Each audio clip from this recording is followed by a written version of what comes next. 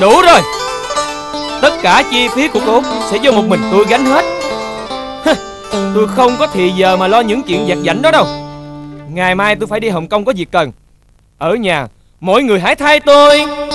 Giải quyết cho xong tất cả mọi hợp đồng. Ngưng đầu tư tập trung hết mọi nguồn tiền. Kỳ thể sẽ thay tôi mà triển khai kế hoạch. Cho người thu mua toàn bộ sớm không tên. Sớm không tên? Em, em có đi không vậy? Nó hiểu lánh quan sơ cái đồng không ông hoành. Có lợi ích gì mà em đổ tiền vô Xưa nay việc làm của con má thường ủng hộ Nhưng mà lần này thật sự là má không có yên bụng. Chỗ đó tập trung toàn là dân tứ xứ. Mình cất phố xây lầu rồi buôn bán cho ai? Việc làm của tôi đã suy tính kỹ càng. Tất cả mọi người chỉ có việc nghe theo. Có thể anh nên lý giải rõ ràng Để mọi người không phải băn khoăn. Từ ngày tôi thay ba ngồi chiếc ghế giám đốc công ty Kế hoạch của tôi chưa một lần nào thất bại. Khi tôi đã quyết định thì mọi người cứ làm theo Và phải làm cho thật tốt. Kỳ thể Lái xe đưa Mã Hai tới công ty. Tôi có cuộc hẹn quan trọng vào lúc 9 giờ Nên sáng nay tôi không tới được. Trời ơi Nó lại dở cái trò gì đây không biết nữa. Vì nó chưa từng thất bại Cho nên nó dở trò gì mình cũng phải nghe theo thôi. Chỉ có trời mới hiểu trong đầu ảnh đang nghĩ chuyện gì.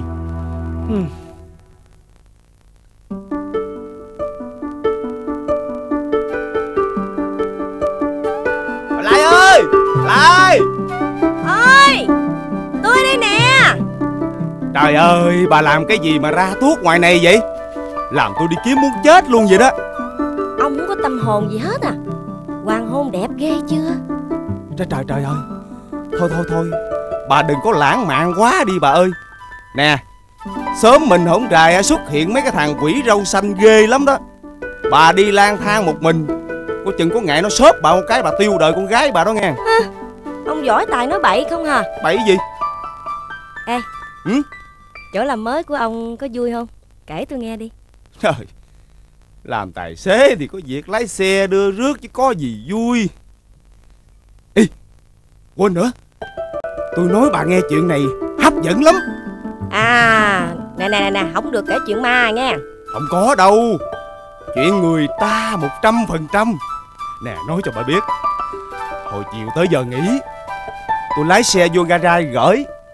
Bỗng có một cái điện thoại của ông giám đốc bảo tôi tới công ty đón bà giám đốc Ai biết mặt mũi bà ra làm sao?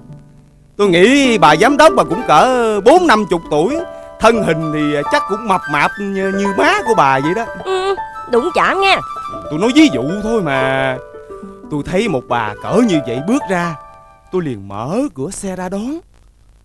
Ê trời đất quỷ thần ơi Ai về đâu, cái người đang bước lên xe. Là một cô gái trẻ độ chừng ngoài hai mươi tuổi.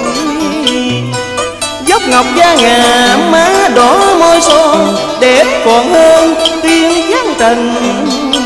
Làm mà tôi mất hồn, Đứng nhìn ngẩn nhìn ngơ, Cho tới bây giờ tôi vẫn còn run Ông giám đốc giàu thì dĩ nhiên vợ đẹp Đâu là lùng gì mà ông ngờ được hay không? Cặp mắt của ông nhìn ai là muốn hấp hồn Coi chừng mất việc dễ như chơi. Nếu như tôi được trò chuyện một lần Rồi có mất việc tôi cũng vui. Vậy mà ông nói tôi lãng mạn Ông còn chúa hơn tôi nữa. Người ta có chồng rồi Mà chồng người ta lại là giám đốc Giàu sang lắm đó ông bạn ơi. Nè Đừng có làm con xe sẻ đuổi theo ánh mặt trời. Tôi nói cho bà nghe Hằng Nga mà yêu được chú Cuội Thì đâu có phải tôi hoàn toàn không có cơ hội. Chỉ sợ bà thôi. Má của bà ôm mộng gả bà cho một người giàu sang quyền thế. Trời ơi con bộ cái số của bà chắc ở giá quá bà ơi. Trời trời Sao ông biết tôi ở giá? Chứ nữa. Tôi còn chê bà huống chi mấy anh cha nhà giàu. Thôi dẹp mộng đó đi. Tôi còn nghĩ tình. Mai mốt tôi cưới bà về làm vợ lẽ Ừ, được. À, Tôi cũng muốn làm vợ lẽ của ông lắm á. Lắm á nè Ê, ê, ê, ê, ê, hậu, hậu, hậu không có chọi kỳ cục gì dở gì kỳ vậy? Vợ gì Vợ lẽ nè. Vợ lẽ nè. Vợ lẽ nè. Vợ lẽ hụt, liêu liêu, hụt, liêu, hụt, liêu, liêu, hụt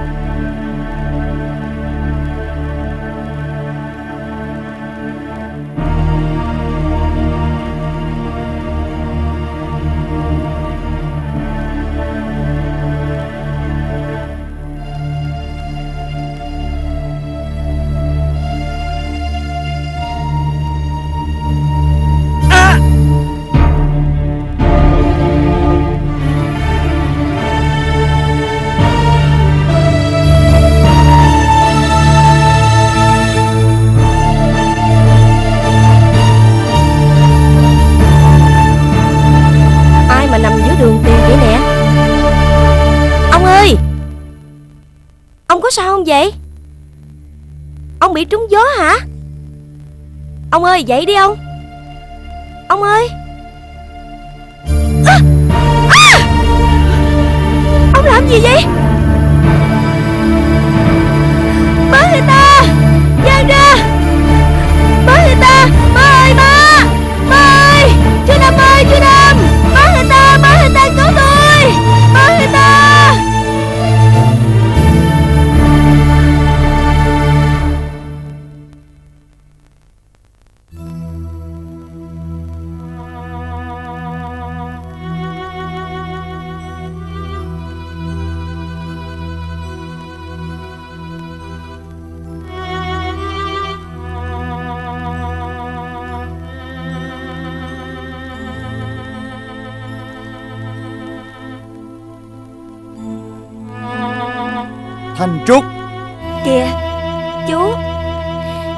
đã dậy rồi hả? Lâu rồi. Chú đứng trên lầu thấy con thơ thẩn dưới này. Hôm nay chủ nhật Không đi mua sắm sao ở nhà buồn quá vậy? Anh Sơn đi Hồng Kông cả tuần nay. Mọi việc trong công ty Ai cũng đến tìm con nhờ giải quyết. Con mệt quá. Vậy còn bà Xuân? Còn chị em của nó đâu? Thì ai cũng sợ làm ảnh trái ý. Cho nên cứ đổ dồn trách nhiệm cho con hứng chịu Con với chú cộng lại Chỉ có một nửa phần hùng. Làm vừa sức thôi. Đừng nai lưng ra gánh gồng Mà có hại cho sức khỏe đó. Dù sao Đó cũng là sản nghiệp của chồng con mà chú. Cũng đúng. Sự nghiệp của ba con ở bên Pháp một phần Cũng nhờ bàn tay quán xuyến của má con. Nếu thằng Sơn đã tin tưởng con như vậy á Thì cố gắng đừng phụ lòng nó. Muốn vậy con phải xông xáo vào mọi việc Tìm hiểu mọi kế hoạch hoạt động của công ty. Có gì không hiểu Cứ về trao đổi với chú nha. Anh Sơn làm việc với mọi người á Chỉ có một nửa thân mình Còn nửa kia Ảnh giấu kín Khó ai đoán được. Bước vào thương trường thì phải vậy chứ sao con? Thằng Sơn là một người rất bản lĩnh Bản lĩnh đến độ tàn nhẫn Để có thể ra lệnh cho mọi người. Nhưng nay mai rồi con sẽ là vợ nó. Là một người vợ khôn ngoan thì phải biết tánh ý chồng, Phải đoán cho được mọi hành động và suy nghĩ. Phải biết nó cần gì, Nó muốn gì. Và chính con phải là tham mưu. Rất tình còn có là thông minh Để cùng chồng con dần nên nghiệp lớn, Làm chỗ dựa vững chắc cho thành sơn. Nó đâu đòi hỏi gì hơn. Thời gian gần đây con như mỗi mệt, Công việc bộn bề mà cũng thật lẻ loi. Con không có ai để đổi trao bàn luận. Càng xông vào con thấy càng chán được như một người vợ bình thường. Nhưng Dương Kỳ Sơn không phải là một kẻ tầm thường. Một khi nó chọn con rồi, Là nó đặt hết lòng kỳ vọng ở con. Thói thường xưa nay, hễ chồng là một kẻ có tài Thì vợ phải chịu đôi chút thiệt thòi. Hy sinh một phần những đòi hỏi riêng tư. Chẳng lẽ chú cũng cho rằng Những gì ảnh ban phát cho con là nhiều lắm sao? Nhiều khi con tự hỏi, Có phải cuộc hôn nhân này Xuất phát từ tình yêu của ảnh đối với con? Hay còn một nguyên nhân thầm kín sâu xa nào khác nữa? Mà cảm giác cô đơn cứ mịt mù dây phủ không được lửa hương để ấp ủ một ân tình. Giữa con với sơn như còn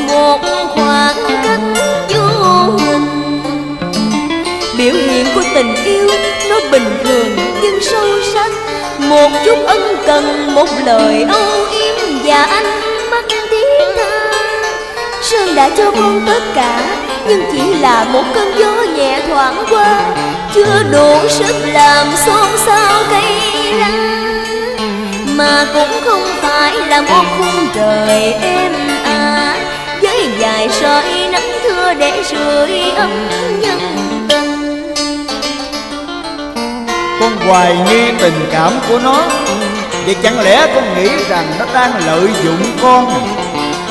Nhưng con có gì bằng được ảnh đâu Mà phải cần có con để mưu cầu lợi lộc. Sao con không nghĩ rằng cách biểu lộ tình cảm của mỗi người mỗi khác? Nhìn hiện tượng để đánh giá bản chất Dễ đưa con người ta đến chỗ sai lầm lắm con à. Bây giờ chỉ cầu mong như vậy. Để không phải ôm sầu chuốc hận ở ngày sau. Phải chi Sơn là một người đừng có quá nhiều ưu điểm. Để trong cái bình thường chân chân, Có thể tạo cho con một niềm tin vững chắc vào một tương lai hạnh phúc sau này. Con không sợ đôi chút thiệt thòi, cũng không ngại phải hy sinh một phần sự đòi hỏi. Mà chuyện làm con rơi rứt trong lòng, khi cuộc sống vợ chồng thiếu hẳn một tình yêu. Thôi, Đừng suy nghĩ dẫn dơ nữa con. Chúng ta là những kẻ đứng giữa chiến trường không tiếng súng. Phải biết tận dụng thời cơ ngay trước mắt Để giữ lấy những gì mình khao khát. Chứ đừng mất công suy tính Điều đó thích hợp với mình hay không. Ừ, Hình như chú cũng rất mong muốn cuộc hôn nhân này. Phải Vì chú biết rằng con yêu thằng Sơn vô cùng tha thiết. Thôi Con vô sửa soạn Chú đưa con tới câu lạc bộ cho thư thả một chút. Nhớ đừng tạo cho mình áp lực. Đang làm việc lớn Thì phải biết chấp nhận hy sinh những điều nhỏ nhặt chung quanh. Dạ Con nghe lời chú. Chú chờ con về lát nha. Ừ Con cứ thông thả Còn sớm mà.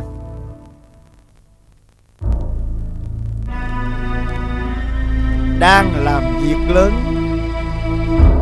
thì phải biết chấp nhận hy sinh những điều nhỏ nhặt chung quanh.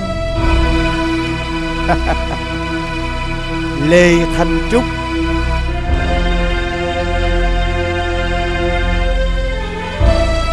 Dương Kỳ Sơn.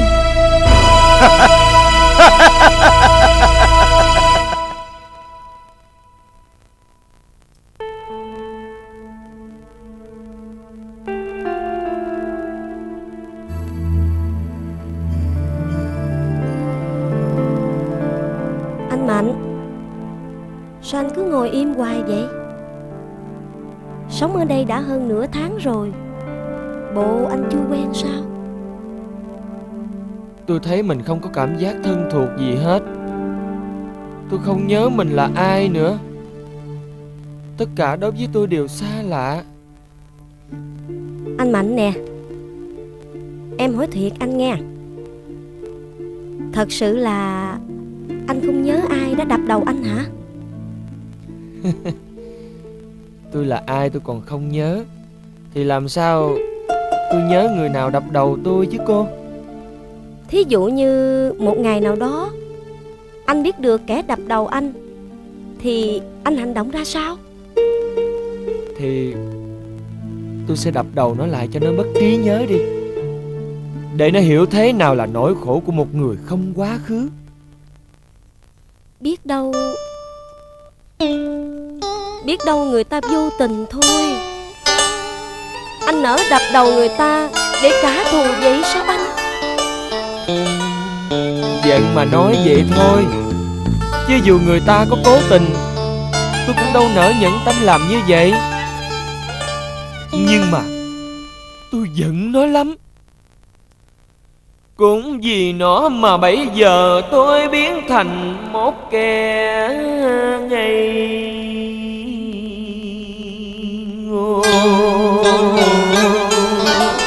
không có tương lai Còn qua cứ mịt mờ Như là một đứa trẻ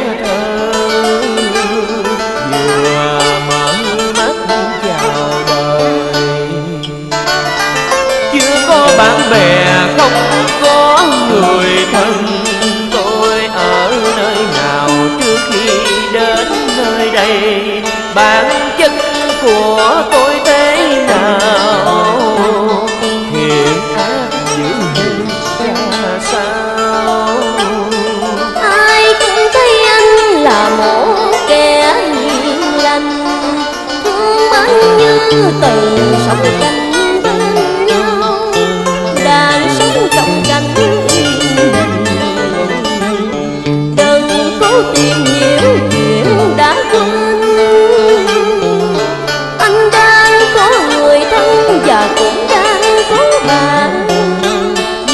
lòng của tôi chưa hết ngỡ ngàng. Khi chính tôi cũng không hiểu về mình, làm sao có được bình Thì anh cứ tạm chấp nhận theo lời ba anh nói. Tức là ba má anh chia tay lúc anh vừa lên 5 tuổi nè. Rồi cái má anh mang anh theo gia đình xuất ngoại.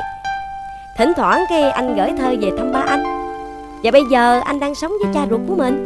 Đơn giản vậy sao cô? Đó là cách tốt nhất trong khi mà anh chưa nhớ lại chuyện cũ. Còn nếu mà anh chưa thoải mái được á thì anh bắt chước theo em nè. À! À! à, ê cô cô cô cô làm gì vậy?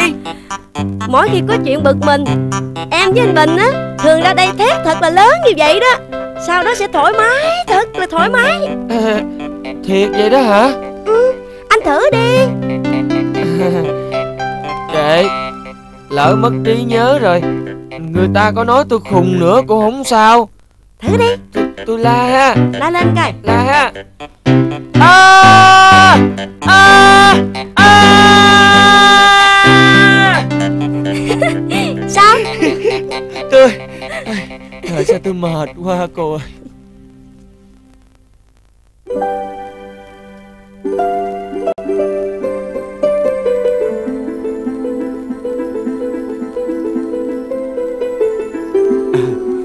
Cô ngồi xuống đây nghe Để tôi ra giữ xe. Quán có người giữ xe mà. Nếu vậy thì à, tôi đi lòng vòng để chờ cô. Tôi không có quen ngồi uống nước một mình. Hôm nay tôi chủ ý mời anh á. Anh ngồi xuống đi. Hả? Cô mời tôi. Không lẽ anh từ chối?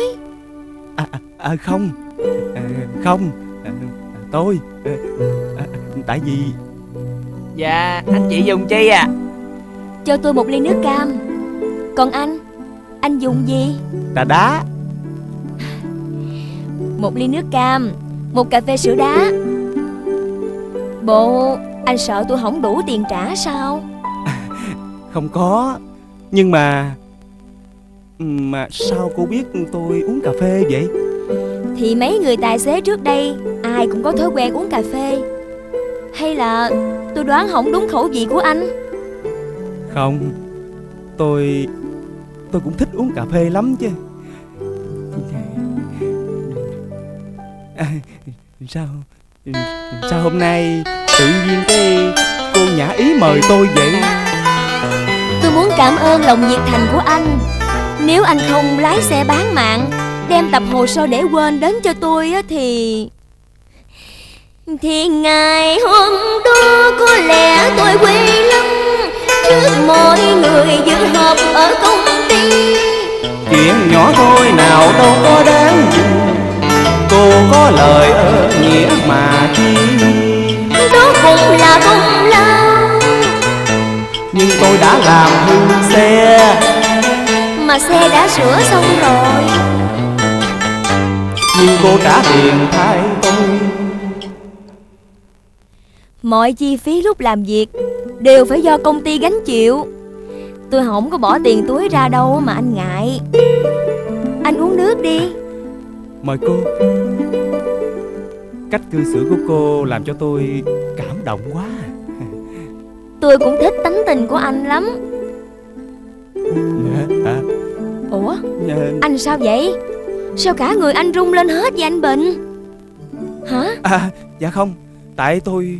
Tôi gió à, Không phải tôi Tôi lạnh. Trời Lạnh hơi đất lạnh. Đang giữa hè mà anh cũng lạnh nữa sao? À, dạ, dạ không phải. Tôi Tôi cảm mới hết. Vậy anh mặc cái áo này vô cho đỡ lạnh. À thôi. Áo cô mua cho ông Sơn. Tôi mặc không tiện đâu. Tôi mua để tặng cho anh mà. Anh Anh Bình Anh có sao không anh Bình? Cô tặng Tôi hả? Hôm đó anh đụng xe Áo anh bị rách Nên tôi mua áo tặng anh Coi như là bồi thường thôi. Có gì đâu mà anh hồi hộp dữ vậy? Hay là anh không muốn nhận? Đâu có. Tôi Tôi không dám phụ lòng tốt của cô. Cả cám cả, Dạ Cảm ơn nhiều Tôi cảm ơn anh mới phải chứ.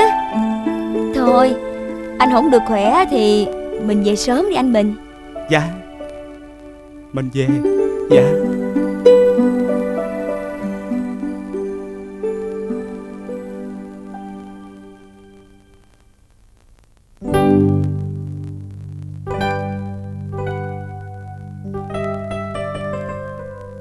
Ủa? Anh Bình Sao mới giờ này về rồi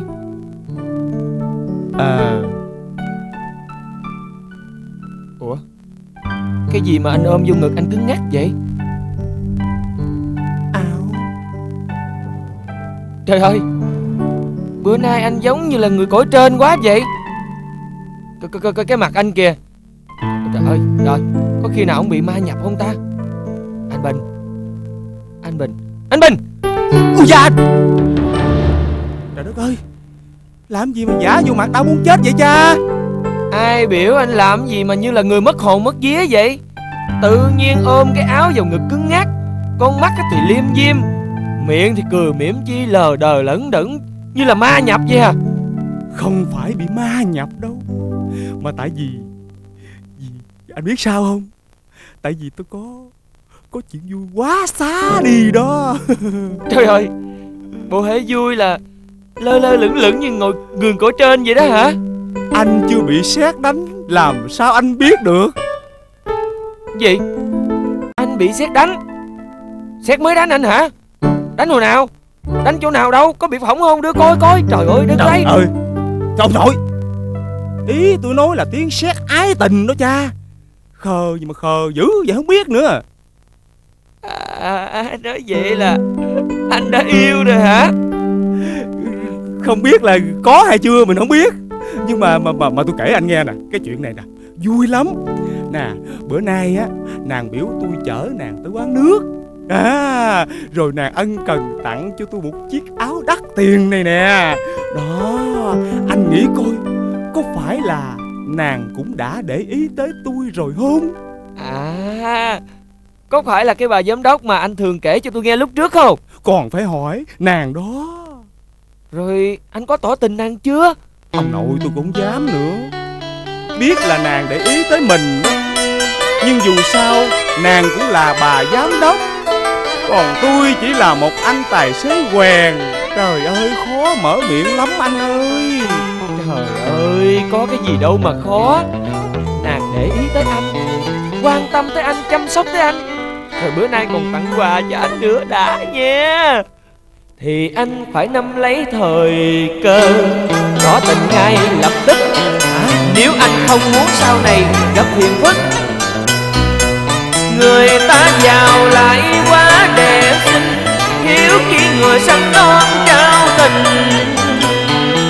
Anh im lặng hoài nàng ngỡ không chịu. Rồi chuyển hướng sang người khác, Lúc đó anh tiêu đó nha. Nhưng chuyện tình yêu khó nói ra cửa miệng. Tôi nhát quá trời, hễ gặp là tôi trung Lỡ nói không xong nàng còn tưởng tôi cùng. Vừa mất chỗ làm vừa mất tình yêu. Anh đã yêu thì anh phải biết liều. Khi biết rằng nàng cũng yêu anh. Vậy theo ý anh thì sao? Thì lựa một ngày nào đẹp trời Anh mời nàng đến ngay cái quán mà Nàng đã tặng cho anh chiếc áo đó. À, à, à, anh Anh mua cho nàng một bó hoa tuyệt đẹp. Ờ. Rồi tặng cho nàng một đóa hoa kèm theo lời tỏ tình tha thiết. Tôi bảo đảm với anh là nàng sẽ xúc động. Mà đón nhận tình yêu của anh ngay lập tức á. Ủa sao anh biết? Thì Mấy chuyện đó trong phim thiếu gì? Vậy là tôi tôi phải tấn công trước. Tiên hạ thủ vi cường. Thiên hạ thủ vi cường? Ha ha Phải Phải ha Để ông thôi nàng tưởng tôi không để ý đến nàng. Để nàng chấm thằng khác là thúi đời tôi. Chứ sao? Vậy Vậy anh dạy tôi Tôi cái cách mà mà mà tỏ tình nói sao? Nói chuyện á. Trời đất ơi Tình cảm của anh sao thì anh nói như vậy? Tôi có biết gì đâu mà mà, mà biểu tôi dạy cho anh. Nhưng mà Nhưng mà Thôi đi ông ơi Làm ơn vô nhà nằm gác tay lên trán suy nghĩ cách tỏ tình đi Đừng có ở đây mà, mà phá đám tôi nữa Đi đi. Hả? Cái gì? Ở đây phá đám? Ờ, Vậy là Vậy là cái gì? Ê, Vậy là anh cũng đã yêu rồi phải không? Ê, ê, ê đừng có nói bậy Tôi không có chịu vậy đâu rồi nghe. Coi coi coi coi coi cái mặt kìa coi cái mặt bối rối kìa chưa có trình độ nói láo đâu ông ơi. Bữa nay lại đi xin việc làm ông ra đây đứng đón lại về. Cái mặt hồi hộp thấp thởm vậy mà cũng giấu giấu tôi chi vậy? Tôi không dám biết rồi tôi biết rồi. Tôi, tôi, tôi nó không có mà. Tôi không biết nếu anh không chịu nhận thì tôi sẽ đi khai hết cùng làng cuối sớm cho mọi người biết luôn. Ê, ê, ê, Anh đó- Đừng đừng đừng mà trời ơi tôi lại anh Đừng đừng trời ơi tôi mắc cỡ lắm Anh đừng có làm gì tôi mắc cỡ thôi thôi thôi nín nín đi. Vậy là nhận lỗi rồi phải không? Ừ thì tôi nhận. Trời ơi vậy là phải anh hùng chứ Nam nhi di chí là phải vậy chứ. Nè. Để tôi đi báo tin. Nè nè nè Anh hứa với tôi là không có được nói tùm lum la cho người ta nghe đó nha. Không Không nói cho cả xóm biết Nhưng chỉ có một mình má của lại biết thôi. Ê! Ở đây chờ người yêu nha Tôi đi à. Ê! Anh hứa với tôi tôi nhận lời Anh không có nói mà. Trời ơi đàn ông con trai gì mà nhiều chuyện quá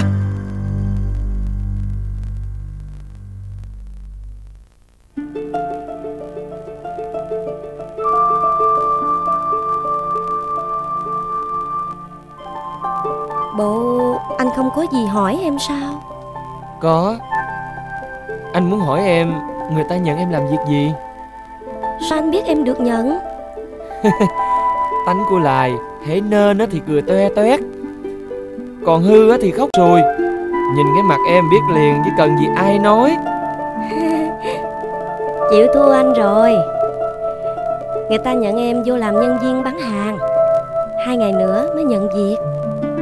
Ờ Vậy mỗi ngày anh đưa em đi ờ, Chiều anh rước em về ha. Thôi Em đi một mình được rồi. Làm như vậy vất vả cho anh lắm. Vất vả mà anh vui. Ngày nào cũng muốn được nhìn thấy em cười nè. Cũng muốn được nghe em nói. Như đã thân quen Sao biết bao năm dài? Duyên kiếp như an bài Mình bước nên đôi. Khi chẳng em nghe lòng bồi hồi nhớ thương đầy vời ai dạy anh nói vậy? Đâu có ai dạy anh đâu mà trong này phát ra nè. Trong này có gì vậy anh? Tươi hồng say nồng gọi là con tim.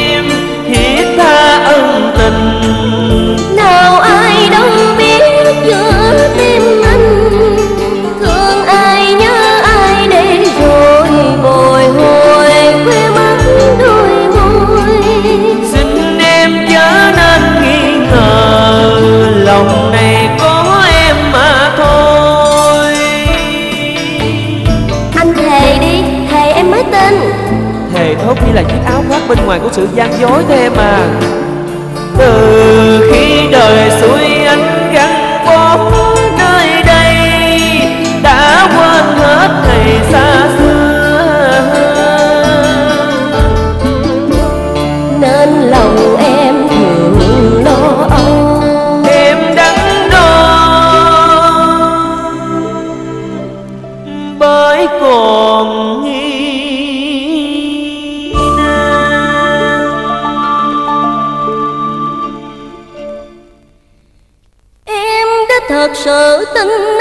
bằng cả con tim của một người con gái.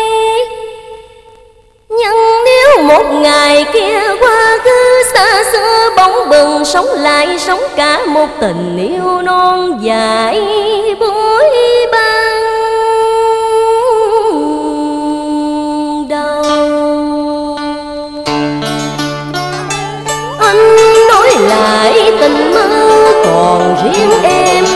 nặng nỗi đau sầu tơ của xưa nhát lòng anh viết tiếp sớm nhỏ quan tàn anh đến nhẹ tương tư rồi anh sẽ quên như đã từng quên tình yêu mới gọi tên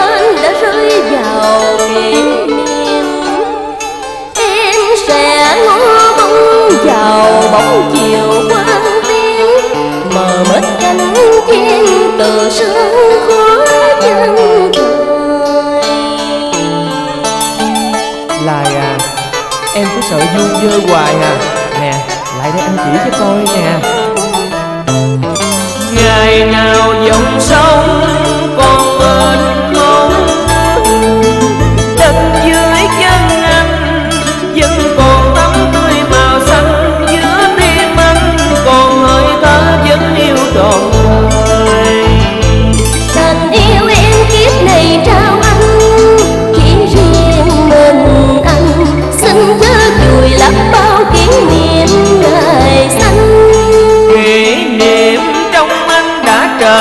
thành tất tử ấp ủ nâng niu gìn giữ đến muôn đời. Lại ơi dù cho quá khứ đời anh có vàng son rực rỡ, có đổ đầy trong niềm âm chăng em? Nhưng chắc gì ở đó anh tìm được hạnh phúc, thứ hạnh phúc ngọt ngào em ấy mà bây giờ anh đang ở bên em. Biết đâu ngày anh nhớ lại chuyện năm xưa. Thì cũng là ngày anh phải cứ mang nặng nề bao bất thành. Anh muốn mãi là một chàng trai nghèo nàn chân chất để yêu em và được em yêu. Vậy thế tôi anh xem là tất của con người. Anh nói thiệt không? Anh nói thiệt đó. Chỉ có điều là anh nghèo lắm. Nếu em đòi hỏi lễ cưới rình rang xe qua lọc lẫy thì anh không có cho em đâu. Em sẽ không đòi mấy thứ đó. Mà anh chỉ cần lo cho em. Em cần gì nè? Nói cho anh nghe coi. Nghe nè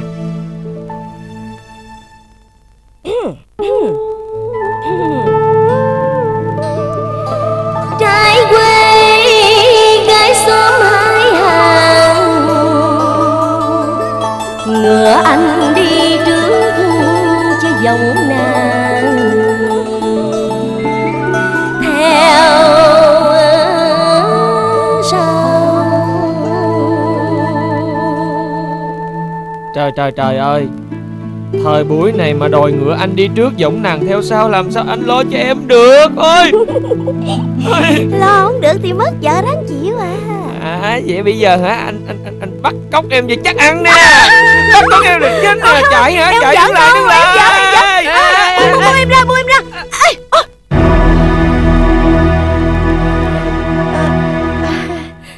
Dạ xin lỗi ông. Dạ tôi vô ý quá à. À, Anh ơi anh có sao không vậy? Làm cái gì mà giỡn hết giữa đường vậy? Bộ hết chỗ để cho mấy người Hả? Anh à, tôi, Dạ tôi làm sao? À, Ông ông làm gì mà sợ rung lên vậy? Anh Mạnh anh hiền lắm. Giả lại đây là lỗi lầm của tôi mà. Anh không có đánh ông đâu mà ông sợ. Ảnh tên Mạnh hả? Dạ Anh bị người ta đập đầu mất trí nhớ Quên hết tên tuổi.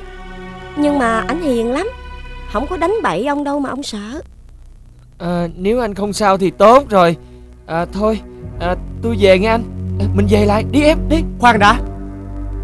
Tôi à, à, Tôi muốn hỏi riêng anh một chút chuyện. À, Vậy em về trước nha. Chiều nay em sẽ làm một bữa cơm đặc biệt Để ăn mừng em có việc làm Nhớ về sớm nha. Anh hỏi tôi chuyện gì? Anh hỏi đi. Anh hai Bây giờ còn lại anh em mình. Anh nói thật đi anh hai Tại sao anh lánh mặt mọi người? Anh nói cái gì vậy? Tôi có quen với anh sao? Vậy Vậy tôi là ai? Nhà tôi ở đâu? Tôi có người thân thuộc gì không hả anh? Sự thật anh không nhớ gì hết sao?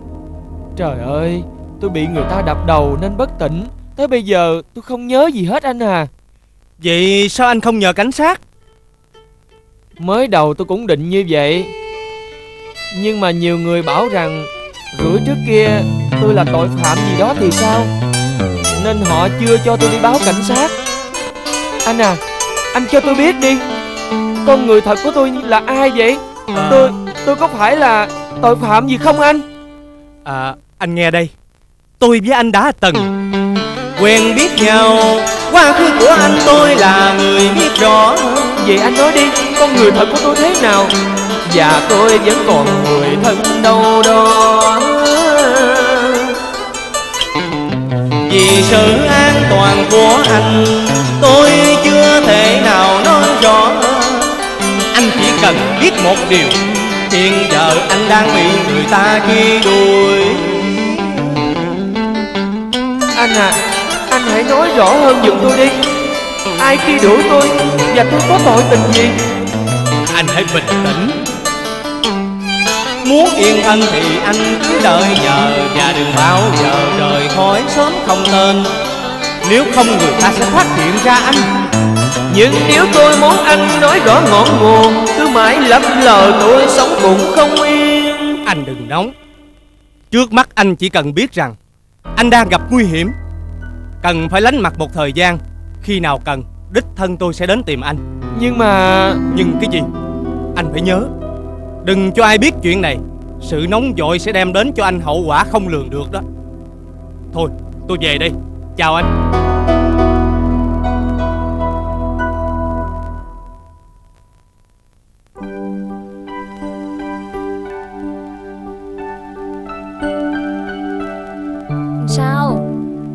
giờ anh có thể cho tôi biết Lý do anh mời tôi trở lại uống nước chưa?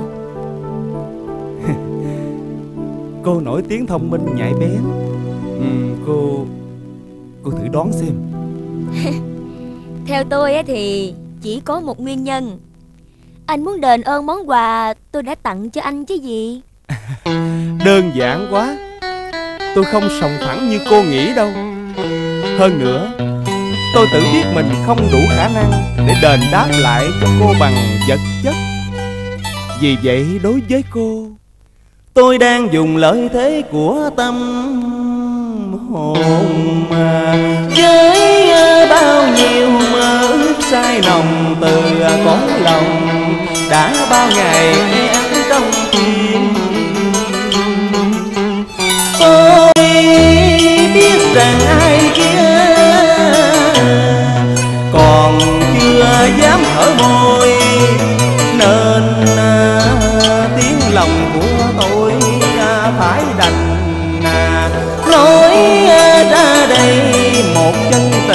để đôi mình. Không còn trở ngại băng băng. anh đã nói những chuyện gì mà tôi cảm thấy lạ kỳ. Anh cần gì nói thẳng ra đi.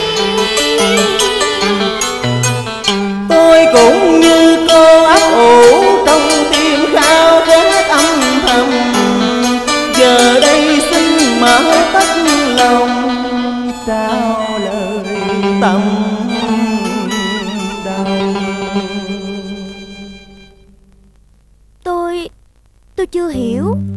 Rồi cô sẽ hiểu. Đây Xin tặng cô. Tặng tôi. Còn nữa. Ờ. Kể từ giờ phút này Nguyễn Di Bình Xin được chính thức cầu hôn Lê Thanh Trúc à, Anh... Tôi biết. Từ lâu rồi cô rất quan tâm đến tôi Nhưng xưa nay tánh tôi nhát lắm. Anh Bình à. Cô đừng ngại Bữa nay tôi giảng rồi. Dù ở đây không có ai chứng kiến Nhưng tôi sẽ báo cho mọi người biết rằng Tôi đã ngỏ lời cầu hôn với cô. Tôi sẽ Duy Bình. Hả? Gì? Có lẽ anh lầm rồi. Tôi đã đính hôn. Chồng sắp cưới của tôi là Dương Kỳ Sơn. À. Và tôi tin rằng Không có lý do nào khiến tôi thay đổi ý định. Chào anh. Thanh Trúc. Thanh Trúc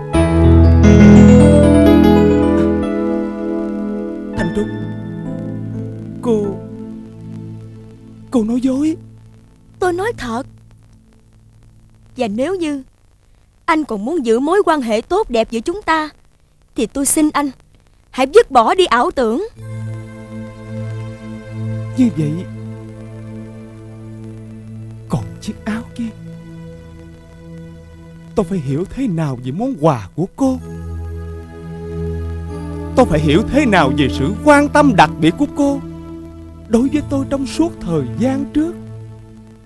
Tôi không thấy điều đó là đặc biệt Mà nó rất đơn giản. Chỉ vì anh là một nhân viên tốt Mà những nhân viên tốt Tôi đều đối xử như nhau cả. Thì ra Thì ra mấy hôm nay cô đang đùa giỡn với tôi.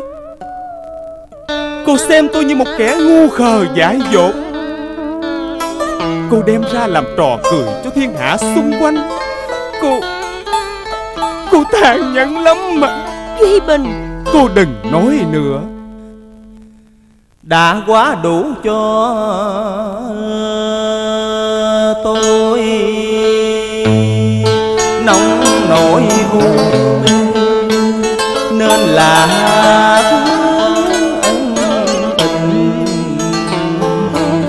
Quên địa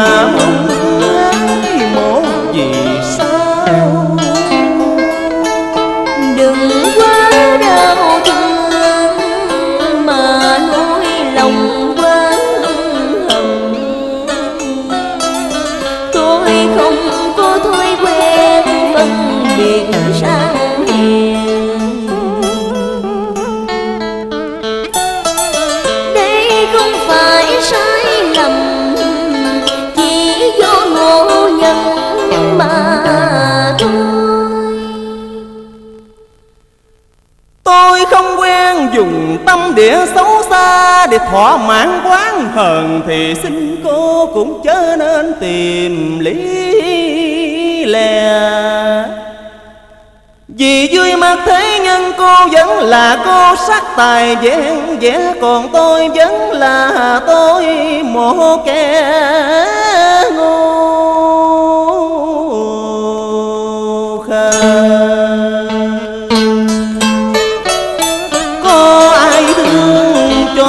kẻ trèo cao té nặng bao giờ.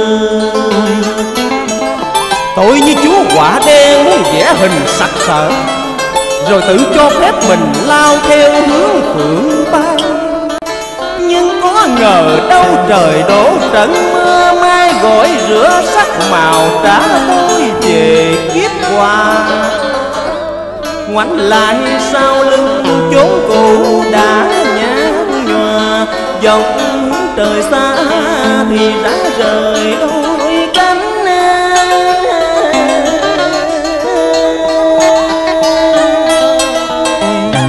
Anh nuôi trong lòng những ý tưởng đó Là không công bằng đối với tôi.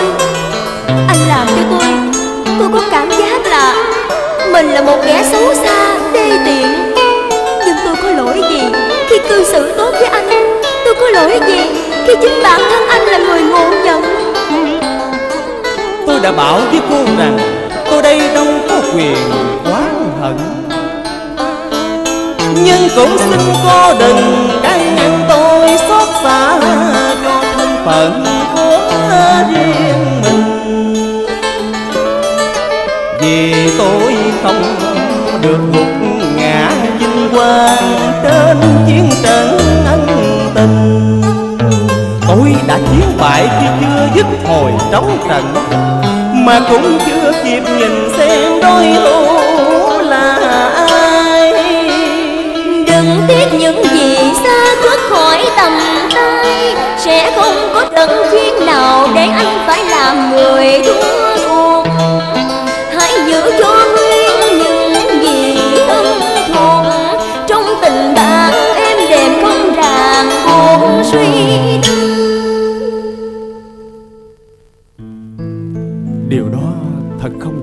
Đối với tôi. Duy Bình à Tôi không có quyền ngăn cấm anh yêu tôi.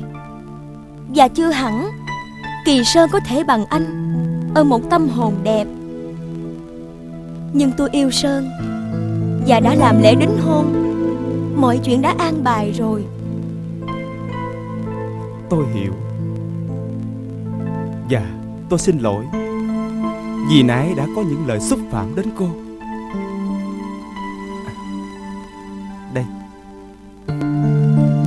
khóa xe. Từ đây Tôi không thể đưa rước cô nữa. Xin cô thông cảm. Duy Bình Cô đừng lo cho tôi.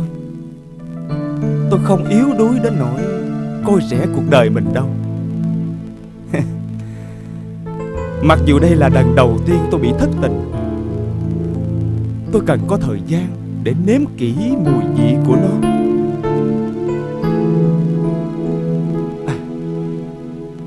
Chúc cô với ông Sơn Được sớm ngày đoàn tụ. Xin chào. Duy Bình.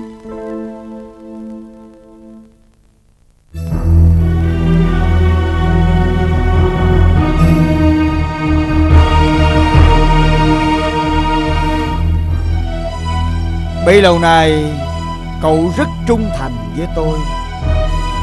Nhưng không vì thế mà tôi ép buộc cậu phải nhận điều đó Cậu cứ suy nghĩ kỹ đi. Đây là cơ hội tốt nhất để tôi hạ gục Dương Kỳ Sơn. Khi ra tòa, Cậu cứ nhận hết tội lỗi về mình.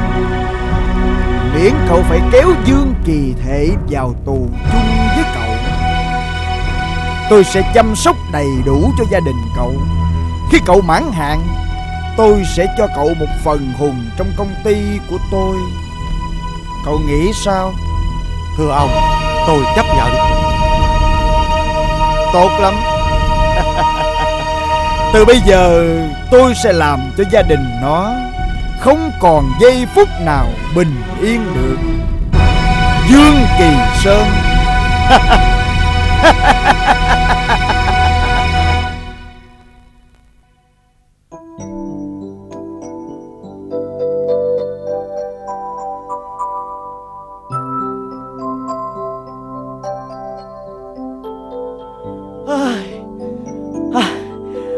thôi.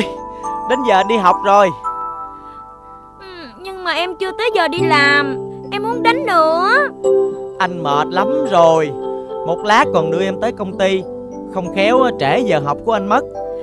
Một chút nữa thôi mà. Nếu anh mệt á Thì anh vô ngồi nghỉ đi. Để anh Đức đánh với em cũng được. Anh Đức ơi! Đánh với em đi. Đúng. Phụ nữ thiệt là phiền phức Không bao giờ biết hy sinh một chút thú vui của mình cho đàn ông nhờ nữa. Bởi vậy cho nên tới giờ ta vẫn độc thân nè Mày thấy không? Cậu cũng còn trẻ chán mà lo cái gì? Ờ Sao à, tự nhiên hôm nay cậu có hứng ra sân vậy? Mỗi khi cậu chỉ thích đánh bài thôi mà. Tao muốn nói chuyện riêng với thằng Đức Chứ hứng thú gì ba cái trò này. Rốt cuộc mất thời gian vô ích. Sao vậy? À Bộ cậu tính mượn tiền anh Đức hả? Cái thằng nó sợ vợ còn hơn sợ chồng. Nó nói con Minh quản lý hết Nó không dám. Hay là mày cho cậu mượn đỡ vài chục đi. Xoay sở ít ngày rồi cậu trả lại cho. Thôi thôi thôi thôi cậu ơi Cậu cho con xin đi cậu. Trong khi hàng ngày con phải ngửa tay Xin tiền lương của má chưa đủ cho con chi phí nữa.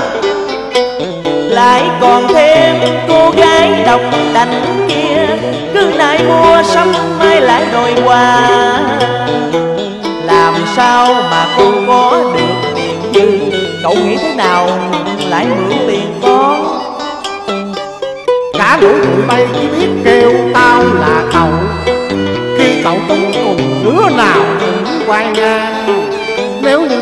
Sơn có mặt ở nhà Thì tao đâu cần tới tụi bay. Cậu nên nghe con mà bỏ hết bạc bài Chơi mãi có ngày cậu tiêu luôn. Không cho mượn thôi đừng mở miệng dài đời mày. Tới lúc tao gặp hên hả Hốt vài ba triệu bạc đừng có chạy theo kêu tao bằng cậu nghe mày. Con chỉ cầu mong sao cậu đừng có mượn nợ là con mừng rồi Không có thèm ba cái tiền bài bạc của cậu đâu. À, thôi, Chết chết chết. Tới giờ rồi. Ngọc ơi Ngọc. Ngọc ơi. Trễ giờ học của anh rồi nè. Thôi vậy anh đi trước đi. Một lát nữa em có gian anh Đức cũng được. Vậy hả? À, Vậy chiều nay anh ghé đón em nha Anh đi Ừ. trước à. Ê khoan khoan. Cho tao qua giang về chút mày. Qua Giang hả? Ờ. Không thành vấn đề. Nhưng nếu cậu còn mượn tiền của con nữa thì Con thả cậu xuống đường ngay lập tức Không dám phiền thằng kiết xác như mày đâu. Vậy thì đi. Đi. Thôi em không đánh nữa đâu. Ngọc à Tối nay vợ anh với thằng Thệ có hẹn với khách. Tụi mình đi đâu chơi nghe? Không có được. Em có hẹn với anh Hải rồi. Em không bỏ được nó. Vậy còn lén lút quan hệ với anh làm gì anh ghen hả? Bị bà xã ăn hiếp riết rồi khờ luôn phải hùng. Em hỏi anh nè, Nếu như không có hắn làm bức bình phong, Thì làm cách nào để qua mắt thế nhân? Vợ của anh vừa hung dữ vừa tinh ranh. Em với anh làm sao giấu che cho được? Hay anh không thật lòng tính chuyện dài lâu? Em đừng nói vậy. Ý anh không phải thế đâu. Vì yêu em thật lòng nên anh mới lo âu. Khi thấy hai người gắn bó với nhau. Thật ra em đây cũng vô cùng phiền muộn. Yêu một người nhưng sống cạnh một người.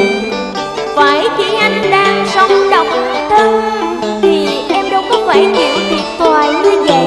Nếu em thật lòng thật và yêu anh Thì cố gắng dừng giá đợi chờ Khi nào Kỳ Sơn chính thức nên chồng đến vợ Thì sẽ phân chia tài sản cho mọi người. Ly dị vợ xong á Anh lấy một nửa phần mình Rồi sẽ được hòa mình chung sống với nhau. Hay tới chừng đó anh đá em ra Để cưới một cô gái xinh đẹp khác phải không? Không có đâu. Chắc không còn cô gái nào để có thể làm anh si mê như là đang si mê em vậy. Bảo vật của anh đây mà Anh còn tìm đâu nữa Phải không? Anh khéo nịnh quá à. Nhưng mà em yêu anh Cũng vì những cử chỉ đầy thơ mộng đó. Thôi được Vậy thì tối nay em sẽ đi với anh nha. Còn thằng Hải? Cho hắn leo cây một bữa. Đi với cái con mọt sách khờ khạo đó Em chán lên tới tận cổ đó. Em chỉ thích được gần anh thôi à. Ngọc Coi chừng người ta thấy bây giờ đó em. Em không có sợ Bất quá à, bà vợ chồng của anh nó tống anh ra khỏi cửa. Rồi lúc đó ha Em sẽ nhặt anh về sống với em. Anh sợ hả? Sợ thì em hung nữa nè. Hung hung hung hung hung cho đã hung chết luôn nè. Ngọc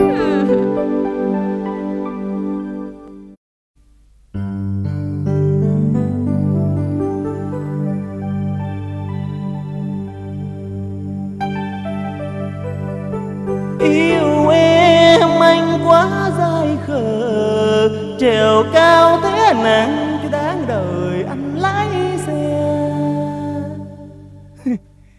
Trời ơi, khi khổng, khi không vậy? Đang có việc làm ngon lành vậy đó. Tự nhiên yêu chi Cái thất nghiệp ở nhà. Mà cũng tại cái này. Áo ơi là áo. Tại sao mày làm tao sổ một cái quá mạng vậy, áo? Tao căm thù mày. Tại sao mày không nói? Không nói cho tao biết trước đi. Nhưng tao cũng cảm ơn mày. Nếu không có mày thì Tao biết ngắm nhìn cái gì để thương, Để nhớ người ta. Người ta. Người ta là của người ta. Giờ như một ánh sao xa cuối Anh còn nhớ tôi là ai không vậy? Thất tình thôi mà. Đâu có bị đập đầu như anh đâu mà không nhớ. Thì anh cũng biết là thất tình thôi. Làm cái gì mà thơ thẩn như là người mất hồn vậy? Vui lên chút coi. Hay là mình đi ra bờ sông đi. Ông thét lên vài tiếng là hết buồn chứ gì. Thét khang cổ mấy ngày rồi. Mà cũng tại anh không à? Sao tại tôi anh suối tôi mạnh dạn thố lộ tình yêu. Anh nói là phải chộp ngay cơ hội nóng bỏng. Bây giờ phỏng nặng rồi anh thấy chưa? Tôi có biết gì đâu. Hồi đó anh suối, tôi nói với em là sao thì bây giờ tôi suối, anh lại y như vậy hà Ôi, mà thôi đi anh ơi. Tình cảm của anh chỉ mới đầu chớm nở trong tim. Thì có gì đâu mà anh một vài hôm thì anh sẽ quên tất cả. Anh hiền lành mà lại rất đẹp trai. Thiếu gì cô gái say mê phải không? Chỗ làm của tôi có nhiều cô xinh đẹp. Nếu ông cần á tôi giới thiệu cho ông mặt nè, ốm nè, như nhon tha hồn ông chọn. Tôi không cần phải đền ơn đáp nghĩa. Miếng ông vui là tôi cũng vui lòng tốt của hai người, Nhưng cho đến trọn đời, Hình bóng của nàng tôi không thể nào quên. Dương Kỳ Sơn, Lòng của tao quá hận mày, Cho đến trọn kiếp này, Vì mày làm khổ nàng và khổ đến thân tao, Mày biết chưa? Thằng khốn nạn, tao khổ lắm, mày biết không? Thôi thôi thôi, ông vô duyên quá à. Người ta có làm gì ông đâu mà, mà, mà ông oán hận người ta vậy? Nàng yêu nó. Nàng chờ đợi nó. Vậy mà nó bỏ trốn. Đi đâu mất tiêu? Mấy tháng nay Để cho nàng chờ đợi mỗi một. Dương Kỳ Sơn Sao tao căm thù mày? Thằng khốn nạn Sơn mày có mặt đây tao sẽ giết mày. Ờ ờ ờ Anh nói cũng đúng đó. Có vợ đẹp xinh tài giỏi như vậy Mà không biết quý trọng Trời ơi đúng là cái thằng cha Dương Kỳ Sơn này đồ điên nặng thiệt rồi mà. Nè nếu anh gặp thằng trả Kêu tôi tới Tôi chửi phụ cho. Ha! Bị thất nghiệp không có lo kiếm việc làm Ở đó mà cứ than thở. Tâm hồn có ổn định thì mới làm việc được chứ. Bây giờ tôi còn trong tình trạng thất tình mà. Anh cứ treo cái áo của người ta tặng Rồi ngồi nhìn ngắm than thở hoài á, Thì chừng nào mà anh mới quên được Theo tôi á thì Anh nên gửi trả lại cho rồi. Ừ Tôi cũng thấy vậy đó. Đối diện với nó hoài làm sao anh quên cho được. Cứ đem trả quách cho rồi đi. Ừ đúng rồi. Nếu vậy thì Anh đem trả giùm tôi đi. Tôi! Chứ mặt mũi nào tôi gặp người ta nữa mà trả. Nhưng, nhưng tôi đâu biết chỗ đâu. Thì bây giờ á tôi tôi ghi địa chỉ cho anh. Anh tới công ty hoặc nhà riêng cũng được Nè nè được rồi. Bây giờ tôi vô tôi ghi địa chỉ cho anh nha Anh anh anh chờ tôi nha. Ha. Nè nè Anh Bình Anh Bình ơi! Kệ. Chỗ bạn bè mà. Anh ráng giúp ảnh một lần đi. Để em lấy giấy Gói lại cái áo cho ảnh ha. Mình đã sợ đến chỗ đông người Mà còn bắt mình đi nữa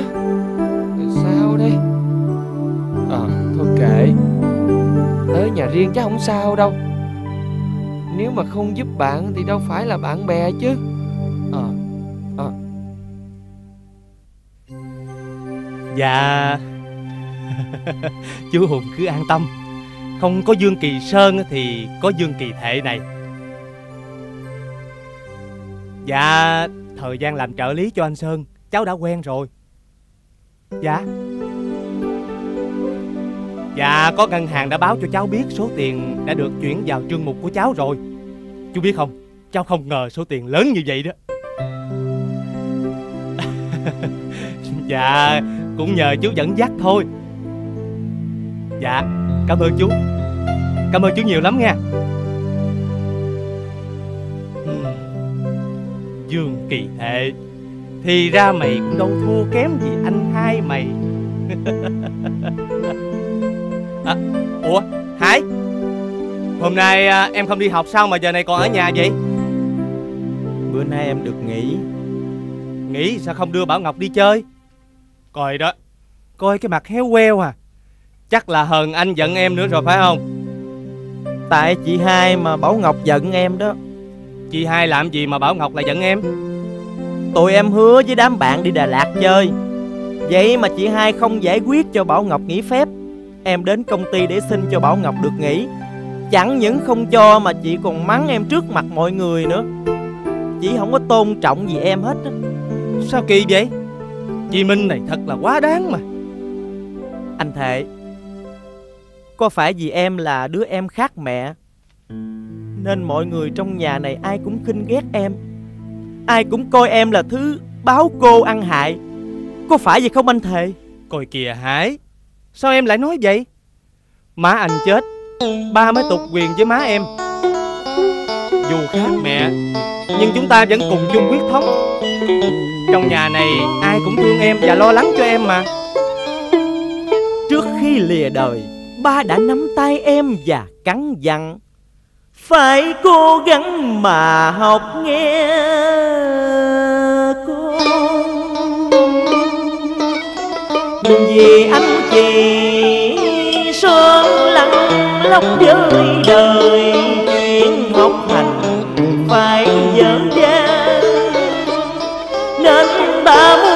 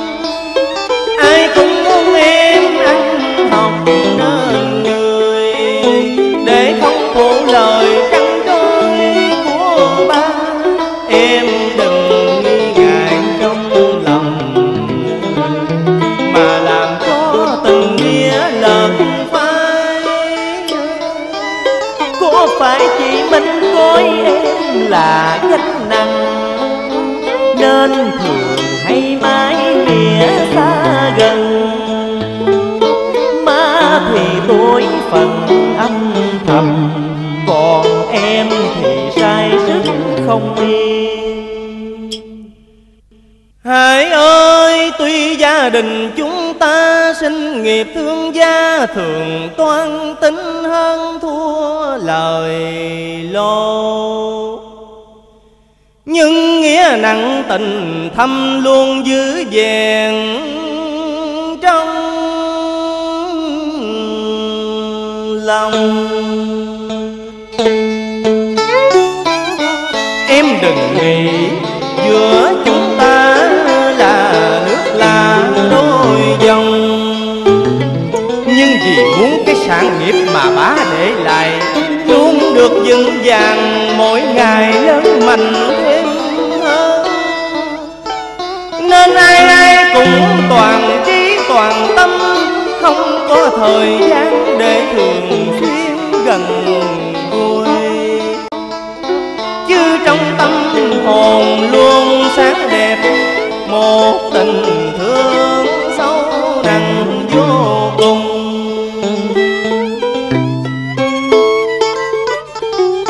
Anh với anh sơn thì có thể, chứ còn chị minh lúc nào cũng kiếm chuyện với mẹ con em.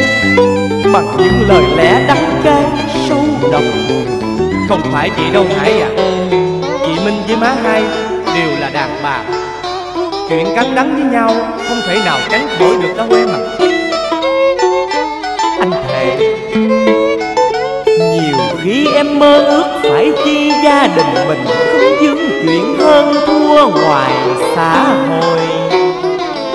Mà sống bình thường giản dị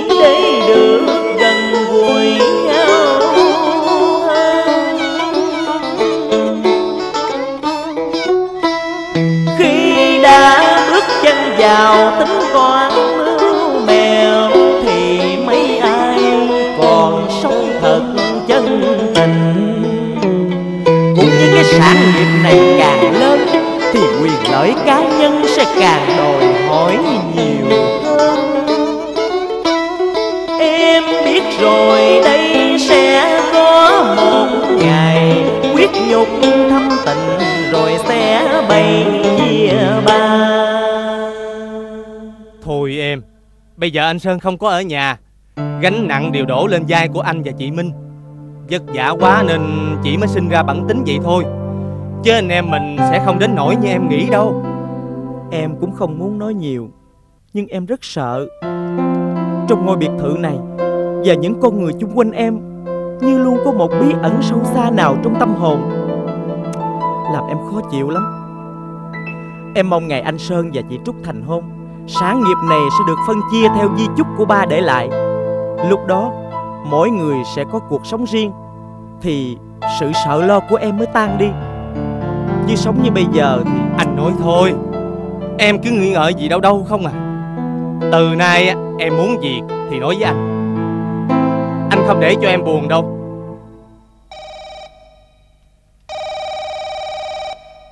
Alo? Dạ phải. Có chuyện gì vậy chị Trúc? Cái gì? Anh Sơn đã về. Alo, alo. Em Kỳ Hải đây. Anh Sơn về rồi. Mà anh ở đâu vậy chị? Dạ, dạ, dạ. Tụi em qua nhà chị đón anh về liền. Chờ em nghe. Anh Thể Sao anh ngồi đó? Ra lấy xe qua rước anh Sơn về kìa. Mau lên đi anh, mau lên. Tại sao? Tại sao anh về đây được? Lại về giữa lúc chuyện làm ăn của tôi và chú Hùng đang. Trời ơi! Tại sao ông trời cứ luôn đùa cợt với tôi? Tôi muốn có một cơ hội để chứng minh khả năng của mình. Mà tại sao ông không cho tôi vậy Ông trời ơi!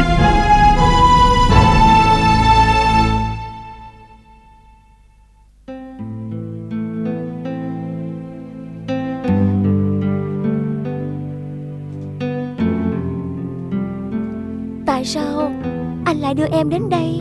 Anh hoàn toàn không nhớ được trước kia. Anh đã từng đưa em đến những nơi nào.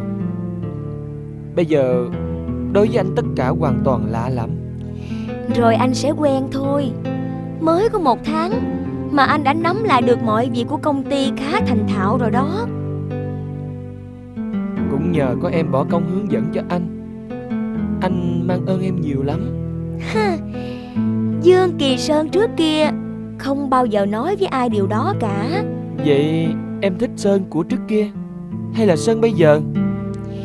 Không phải riêng em Mà tất cả mọi người Đều yêu mến một Dương Kỳ Sơn của bây giờ hơn lúc trước.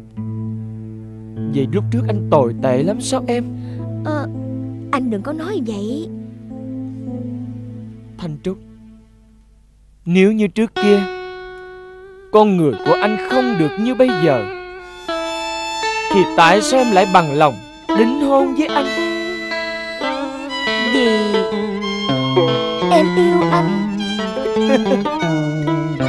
Yêu một con người mà thiên hạ cho rằng Hắn gian manh xạo quyệt sao em? Trốn ơi Có phải tình yêu đã nảy lọc đâm chồi Từ trong kỷ niệm của tôi? thơ?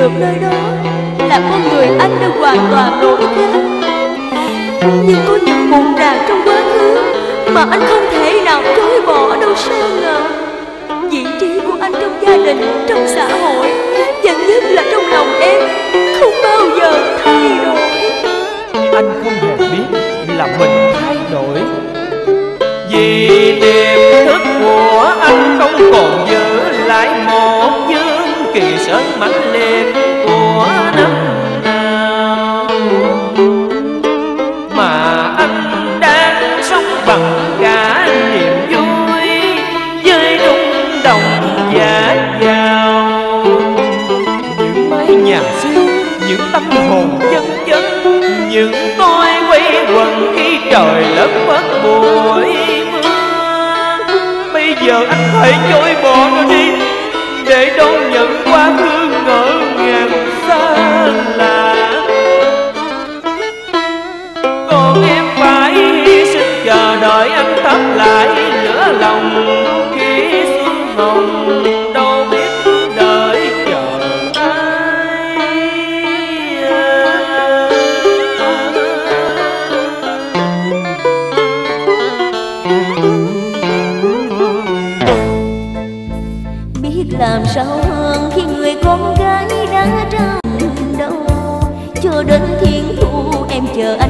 Mãi dù đến bao lâu. Biết ngày mai ấy trái tim anh còn ấm lên cuộc tình. Hay là quãng phế để hai tâm hồn buồn nhớ đơn Vì sợ tình anh đã trao về kẻ khác chứ em đâu ngại gì những năm tháng chờ mong. Xin anh hiểu rằng ngày xưa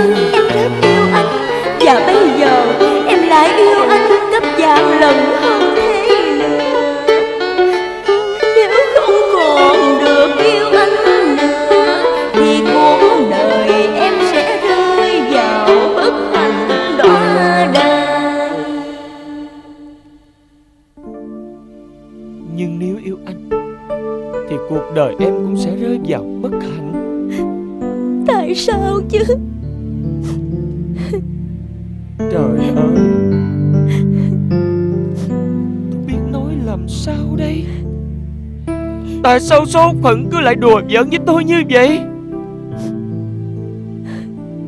Tại sao ông trời lại Không cho tôi chết luôn đi từ điểm đó? Anh sơn. Chẳng lẽ bây giờ Tôi không còn con đường nào để chọn lựa Vì con đường nào tôi cũng biến thành một kẻ bội nghĩa dông ân trời ơi. Phải làm sao phải làm sao đây? Anh sơn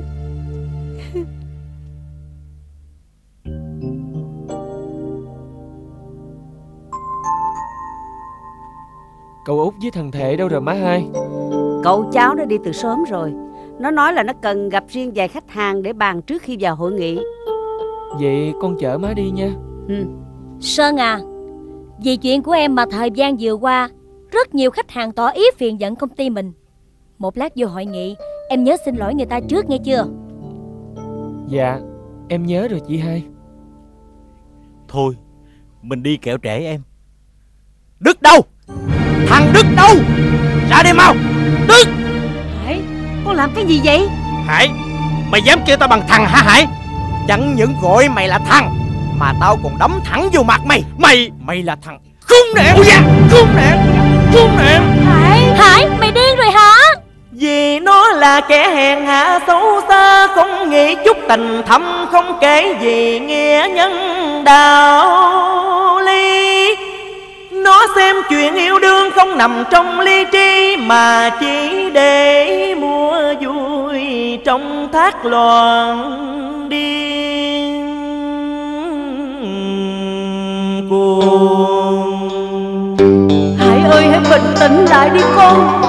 Nó đâu còn biết người thân sẽ khóc hận đau buồn. Trong căn nhà này Tao đã làm người duyên phận Tại sao có một mối tình đầu mà mày không để tao yên? Nếu chị Minh không để cho mày thỏa chuyện gối chăn Muốn dũng trộm thì đâu thiếu gì. Cô gái khác Sao nợ phá của tao cho tình yêu tan nát ràng dở tình thâm quyết nhục của gia đình. Mày im đi! Hết mẹ rồi tới con đặt điều du khống người ta. Bộ vợ chồng tao có mối thù truyền kiếp với mẹ con mày sao? Thôi đi Chỉ trừ cô ra thôi. Chứ có ai còn lạ gì nói hiếu sắc chồng cô chứ. Má hai à Chuyện đang rối rắm. Hãy bình tĩnh đi, Rồi nói chuyện nhẹ nhàng sao Hải à Dù sao thì anh hai cũng là người trong nhà mà em. Không, Nó không phải là người nhà của tôi. Nói đúng hơn, Tôi không phải là người trong nhà này nữa. Tôi biết mình chỉ là đứa con dòng lẻ, Nên mẹ con tôi lúc nào cũng bị coi rẻ miệt khinh và họ có quyền ra tay giành giật Từ chuyện yêu đương đến chuyện hướng gia tài. Bấy lâu nay tôi chọn cho mình một cuộc sống âm thầm lặng lẽ Và không còn giành giật con chết Từ nay tôi sẽ không về đây nữa Như để tránh xa sự gian trá, lòng lừa Hại, còn không cần phải đi đâu hết á. Quyền lợi của con được bảo đảm bằng luật pháp Không phải ai muốn gì cũng được đâu. Còn chuyện của con Bảo Ngọc Nó hèn hạ như vậy Thì nó có đáng gì để cho con phải buồn phải khổ chứ? Cái hạng trắc nết đó Thì nó phải đi tìm cái thứ lẳng lơ thôi Nhưng mà chuyện có rõ ràng đâu Mà người trong nhà cứ cấu xé với nhau hoài vậy. Anh muốn thấy chứng cứ chứ gì? Đây nè Anh coi đi. Coi đi nghiền ngẫm cái nhân tình thế thái Anh coi đi. Hải Con đi đâu vậy? Hải à Hải. Đức. Bằng chứng như vậy anh còn chối cãi nữa thôi. Đồ đê tiền Minh Minh ơi Nghe nói nè Minh. Minh ơi Minh. Sơn ơi Sơn Nguy rồi Sơn ơi? Chuyện gì vậy cậu Út? Thằng Thể bị bắt rồi Tại sao nó lại bị bắt? Tao đâu có biết. Nghe họ nói nó dính líu gì tới vụ tham ô tài sản bên công ty của chú con Trúc á. Thằng kia bị bắt Mới khai ra nó. Làm khách hàng họ bất mãn bỏ về hết rồi. Cậu, cậu đi với con. Cậu Sơn ơi cậu Sơn? Chuyện gì nữa? Ông Hùng mới gọi điện thoại qua Nói con Trúc cắt mạch máu tay tự tử. Ông đưa vô bệnh viện rồi. Trời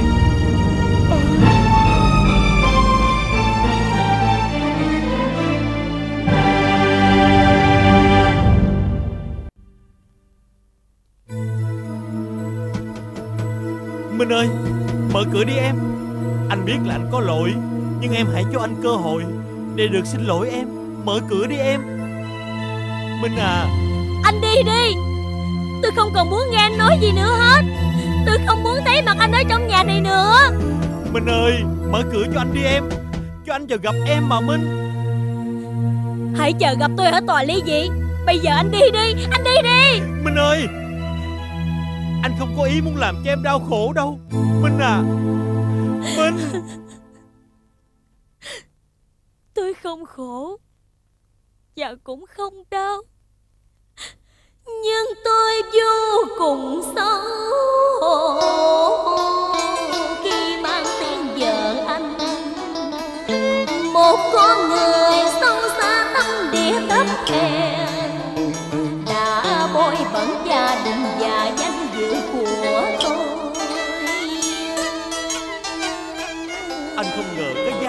trả cho một cuộc vui quá đắt. Anh ân hận lắm Minh à lời nói của anh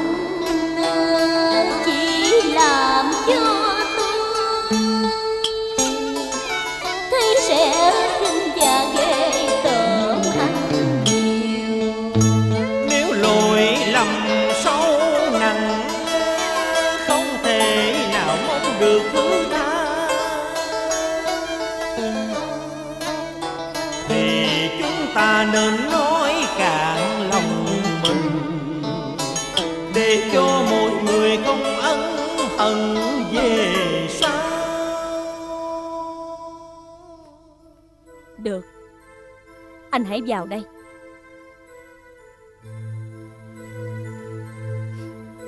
Bản thân tôi không có gì để nói. Anh muốn biện minh điều gì? Tôi sẵn sàng nghe. Anh không muốn biện minh mà anh muốn nói hết tâm sự của mình Để cho em hiểu được. Bấy lâu nay, Thiên hạ chung quanh cứ ngỡ cuộc sống của chúng ta quá đủ đầy hạnh phúc. Nhưng chỉ có riêng anh mới thấy mình lạc lõng giữa dòng mênh mông vô tận của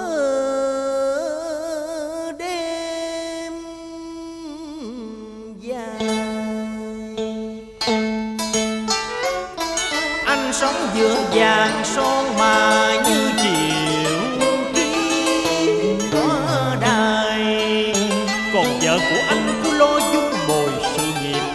Không để cho tâm hồn nghĩ đến chuyện riêng tư. Mình ơi, nếu anh được nơi em một lời âu yếm, hay một cử chỉ chăm sóc nâng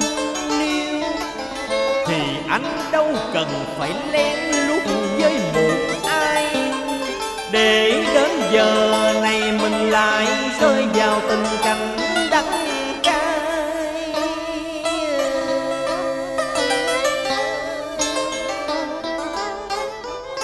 Muốn biện minh cho tội lỗi, Cũng không cần đổ tội cho người khác đâu. Tất cả những cố gắng của tôi, Có phải chỉ để cho tôi đâu? Anh nên nhớ Tôi với anh cưới nhau Khi gia đình anh đã phá sản. Anh chỉ có hai bàn tay trắng. Chẳng lẽ tôi muốn lo cho cuộc sống mai này Mà anh nỡ nhận tâm đối xử với tôi như vậy sao anh Đức Minh ơi Chính vì anh chỉ có hai bàn tay trắng. Nên trong căn nhà này, Anh thấy mình nhỏ bé. Sông sao dội gian Thì anh như thấy mình càng thêm vô dụng. Minh ơi, Cũng vì vậy cho nên anh rất cần ở em sự động viên an ủi, Sự hiểu biết lẫn nhau. Nhưng vợ chồng mình chưa có được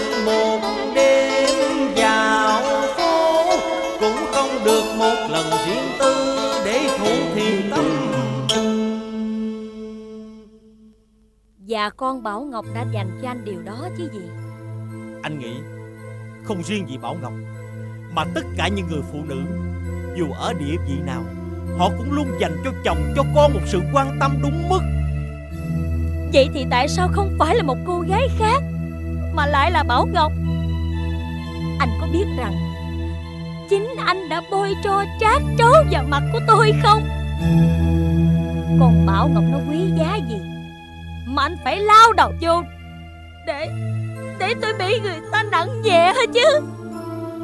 Với Bảo Ngọc Anh hoàn toàn không chủ động. Chính Bảo Ngọc yêu anh Và đem đến cho anh tất cả những gì Mà em không có. Được. Vậy thì anh đi đi. Đi tìm nó đi Tôi không muốn thấy mặt anh nữa. Đi đi. Tôi quyết định ly dị với anh. Anh đi đi. Anh đi đi.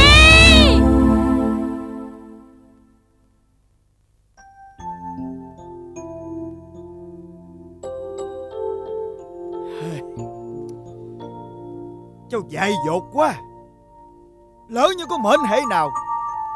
Chú biết ăn sao nói sao với ba má cháu chứ? Con xin lỗi. Con đã làm cho chú lo sợ. Nhưng đêm qua Con quẩn trí quá. Con không biết làm cách nào để giữ anh Sơn lại với con. Cho nên Con đã nông nổi. Thằng Sơn nó đã nói gì với cháu?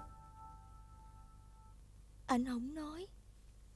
Nhưng qua thái độ lạ lùng của ảnh Khiến con phải một mình đi tới xóm không tên để tìm hiểu Thì ra. Trong thời gian ở đó Anh đã yêu một cô gái khác. Và hai người đã quyết định đi đến hôn nhân. Anh Anh đã tặng cho cô gái ấy sâu chuỗi để cầu hôn nữa. Nó Nó không biết con là vợ sắp cưới của thằng Sơn à. Dạ không. Nếu nói cho công bằng Cả anh Sơn và cô ấy, Không ai là người có lỗi. Đó là một cô gái thật thà, chân chất. Với đôi mắt hồn nhiên còn dương dấn nhiều dụng dài. Của thời con gái ngây thơ, Làm con ngần ngại biết làm sao để nói ra. Trong khi anh Sơn đã quên hơn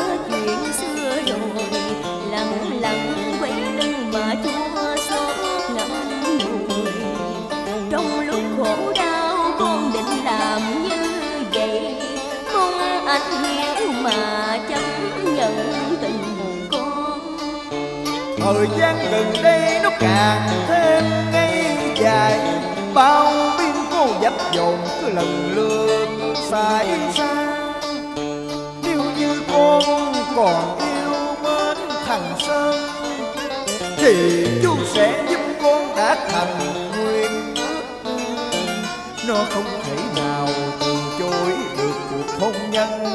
Nhưng chuyện trăm năm đâu thể nào ép buộc. Có được chúng tôi càng thêm sầu, thêm hận.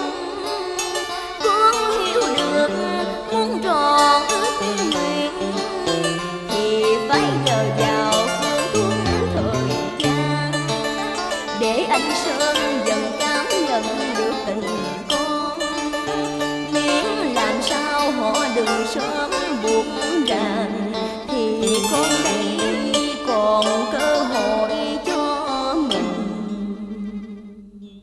Có nghĩa là Con muốn để mọi việc được tự nhiên.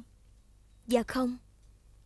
Với một dương kỳ sơn tốt đẹp như bây giờ con quyết không thể nào để mất anh ấy được. Nhưng con đã tìm ra một phương cách khác sẽ có kết quả cao hơn. Chú tin vào sự thông minh nhạy bén của con. Vậy con cứ nghỉ ngơi đi Chú về công ty một lát rồi sẽ quay lại đón con về. Chú đừng lo anh sơn sẽ đến đón con mà. Hy vọng con phán đoán không lầm. Thôi Chú về. Dạ. Dạ Con chào chú. Trúc Em đã khỏe chưa? Em em không sao. Cháu gái của tôi Nó đã đoán không lầm.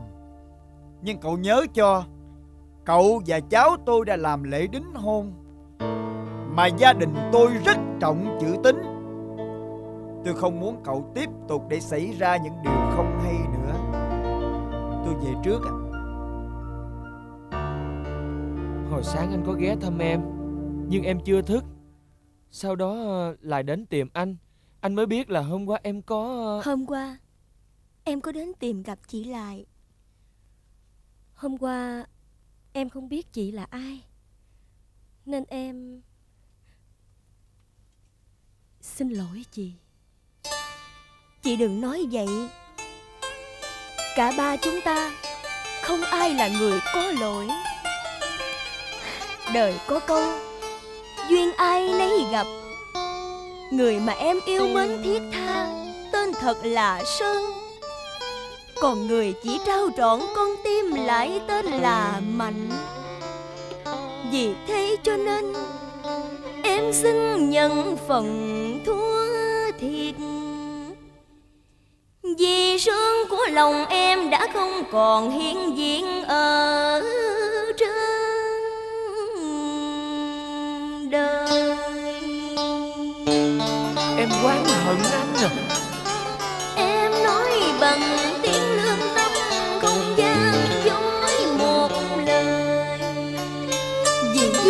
mọi người. Anh không còn là sơn nữa.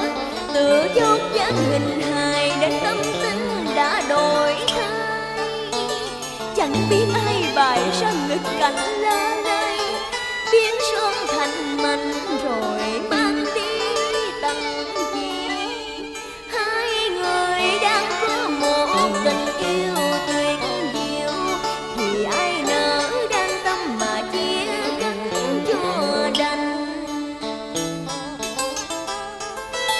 nay lại nghe tin em nằm bệnh viện? Nên muốn đến thăm, Chứ thật tình anh và Lại. Đều không nghĩ rằng đến đây, Để làm cho em thay đổi ý định. Em biết, Và đây là sự suy nghĩ chính chắn của em.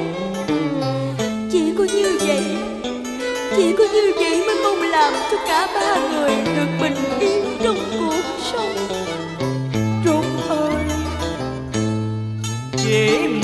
ngày thôi mà em đã bình tâm.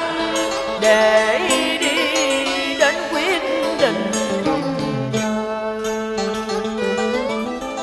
Anh không biết nói làm sao Để cho em hiểu bây giờ. Nếu Bảo mừng vui thì quá đã anh tàn nhẫn. Còn nếu Bảo không thì Anh lại là một kẻ dối gian. Chỉ muốn tận lòng tâm sự cùng em rằng, Anh với Lại đã yêu nhau tha thiết. Nếu như phải ngàn trùng cách biệt Thì Lại và anh sẽ đau khổ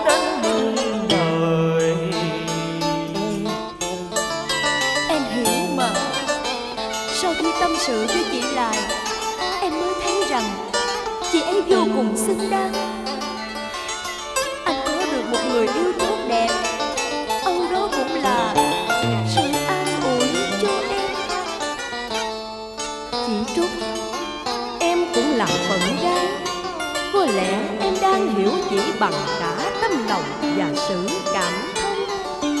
Em thật không ngờ, chỉ để nhẹ nhàng cởi bỏ khỏi tâm trí em sự lo triệu nặng Vì em biết rằng chị rất yêu anh Mạnh, Với cả một quãng đời thơ ấu Và đã vui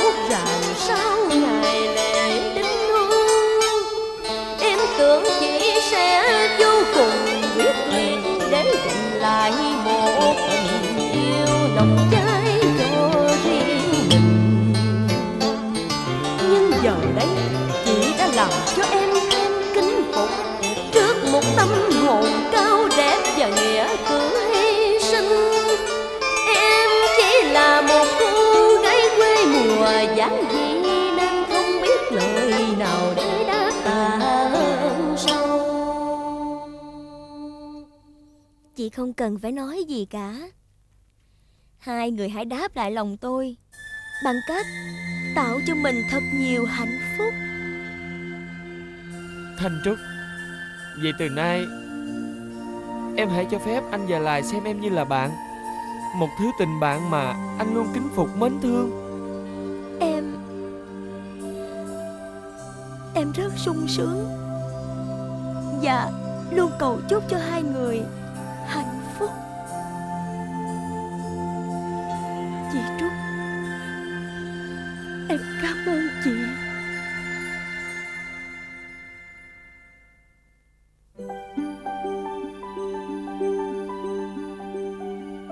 Xin lỗi. Cho tôi hỏi thăm Ở đây có biết nhà của À Thì ra anh ở đây à? Phải. Đây là quán của ba tôi. Chị tìm tôi có chuyện gì không? Tôi không tìm anh Mà tôi muốn hỏi thăm dạ cô Lại Lại con gái bà đẹp đó anh biết không? Dạ thưa chị Lại là em đây. Xin lỗi Chỉ là Là chị hai của anh Mạnh đó. Không phải Mạnh Mà là Sơn Dương Kỳ Sơn. Xin lỗi chị Tại em không biết. Xin mời chị ngồi. Thôi khỏi Tôi chỉ muốn nói vài lời với cô, Rồi tôi sẽ đi liền. Gần một tháng nay, Cả gia đình tôi vô cùng tức giận, Vì em trai tôi là giám đốc một công ty lớn ở Sài Gòn.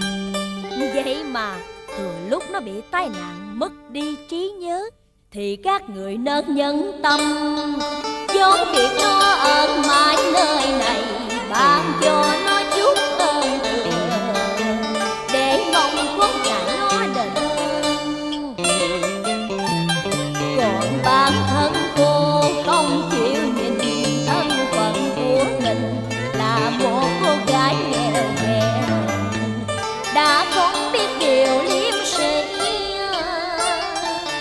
Nè. Nè Chị ăn nói thì cũng nên giữ ý.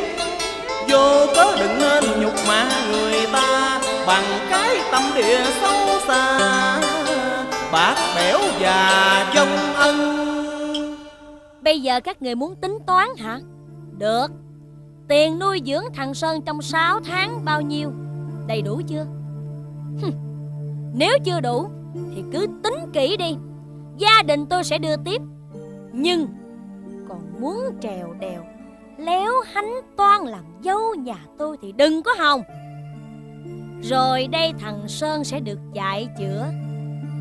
Khi nó nhớ lại tất cả Thì sự có mặt của các người chỉ làm bẩn mắt nó mà thôi. Đủ rồi nha. Tôi mời bà ra khỏi nhà tôi. Anh Bình Anh đừng gây lớn chuyện nữa.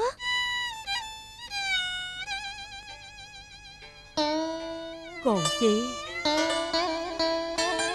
chỉ có quyền không chấp nhận tôi Vì muốn bảo vệ danh giá cho một Dương Kỳ Sơn nào đó.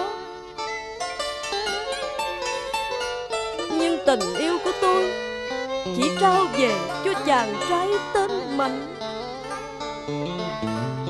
Một chàng trai vất dưỡng lang thang, Không biết cội nguồn cũng không có bạc tiền danh vọng đã được ấp ủ cưu mang nơi xóm nhỏ không tên bằng tất cả.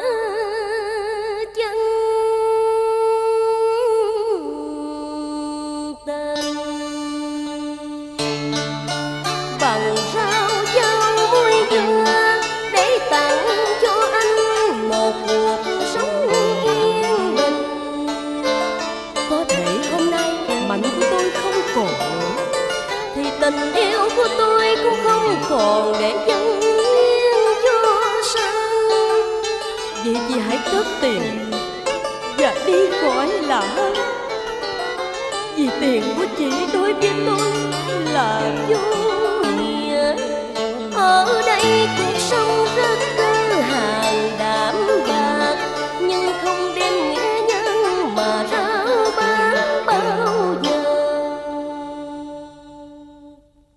Như vậy là cô không nhận tiền chứ gì?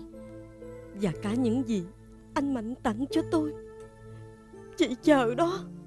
Lai Đi đâu vậy? Lai! Kìa Chị hai Sao chị lại đến đây? Em tâm sự với chị Là để chị cảm thông em Chứ em đâu có muốn chị đến đây làm nhục họ. Em không muốn Nhưng chị muốn. Chị hai. À Thì ra là vậy à Thì ra đây cũng là một cách mượn tay người mà giành giật lại tình yêu. Không Anh Bình. Cô đừng nói nữa. Tôi đã từng thất bại trước tình yêu mạnh liệt của cô. Cho nên tôi tin tưởng rằng tôi không lầm đông ý Cô đã vẽ nên một bức hoàn mỹ. Người ta mãi ngợi ca những vì sao sáng chứ đâu ai lưu ý mạng đen vô tận của bầu trời. Có thể cô cho rằng những lời nói của tôi xuất phát từ cái mặt cảm tự ti sau lần tôi thất bại. Nhưng cô cũng hiểu rằng tôi không ngu không dại. Để tâm tối mù mờ trước hành động của Tôi hiểu anh muốn nói gì. Và tôi cũng không cần biện minh vô ích Nhưng tôi yêu cầu anh. Anh đừng đem ý nghĩ nông cạn của mình mà xúc phạm tới tôi. Thôi Trúc à. Không cần phải đôi co với thứ dân đen nghèo hèn thất học này đâu. Mình về. Khoan chị khoan về đã. Chị hãy cầm món quà kỷ niệm này trả lại cho em trai của chị đi. Từ nay tôi sẽ không bao giờ để cho anh gặp mặt tôi đâu. Chị lại. Chị. Chị hai đây nói đúng. Nếu như anh mạnh không mất trí nhớ thì làm sao mà anh chấp nhận được những người nghèo khổ như chúng tôi? Hãy xem như mọi chuyện đã kết thúc rồi. Từ đây các người đừng đến nơi thấp hèn này để quấy rối tôi nữa. Hãy về đi. Chị lại Còn nói gì nữa? Mình về. Trời ơi bà làm cái gì vậy Làm cái gì mà quý mỹ quá vậy? Họ nói gì thì mắc họ. Anh Mạnh yêu bà thì vẫn yêu bà. Sao mà bà dễ dàng bỏ cuộc như vậy chứ? Tuy là như vậy Nhưng không thể nào phủ nhận được số phận thấp hèn nghèo khổ của mình đâu anh Bình ơi. Trời ơi bà điên rồi. Bà điên rồi bà ơi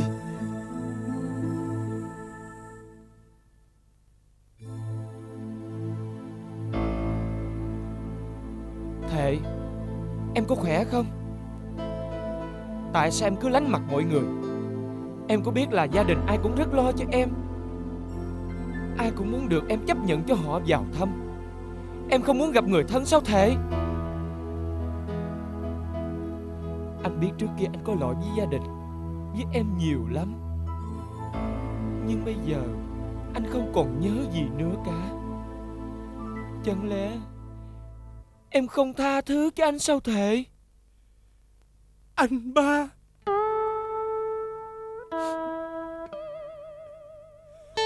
Anh ba ơi, Chính em mới là kẻ ngu dại u mê.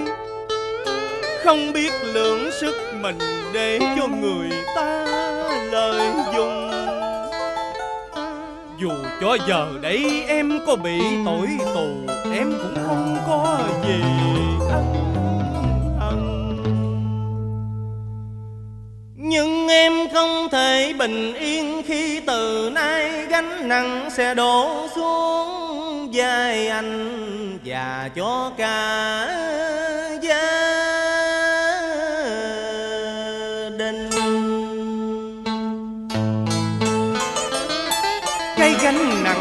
em đã gây ra Như một kẻ vô tình.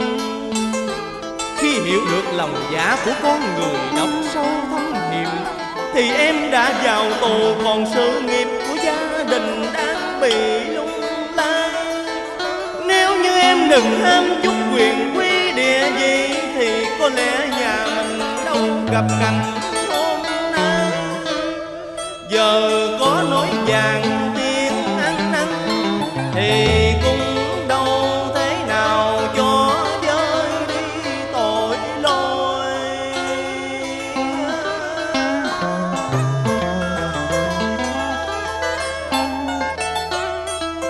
Em vẫn khẳng định Chú Hùng đã văn bẫy em à. Phải. Chính chú Hùng đã xúi dục em. Thừa lúc anh vắng nhà Hãy cố tranh thủ tìm lấy bạc vàng địa Vì vậy? Không nhận anh. Và che giấu tung tích của anh, Rồi lao theo chú Hùng Trong những cuộc làm ăn gian dối. Thế ơi, anh em mình đã trót mang lầm lỗi khi sống rẽ chia và khổ phần cho mình. Nên từng chiếc đũa lẻ loi bị bẻ gãy đi mà không lỗi đầu tiên và nặng nề to lớn nhất. Cũng do chính anh là người trực tiếp đã gây ra. Anh tự mãn với tài năng và trí thông minh, coi thường công sức của mỗi người thân thuộc. Từ đó tạo nên lòng quán hận và cốt nhục thâm tình mới sẽ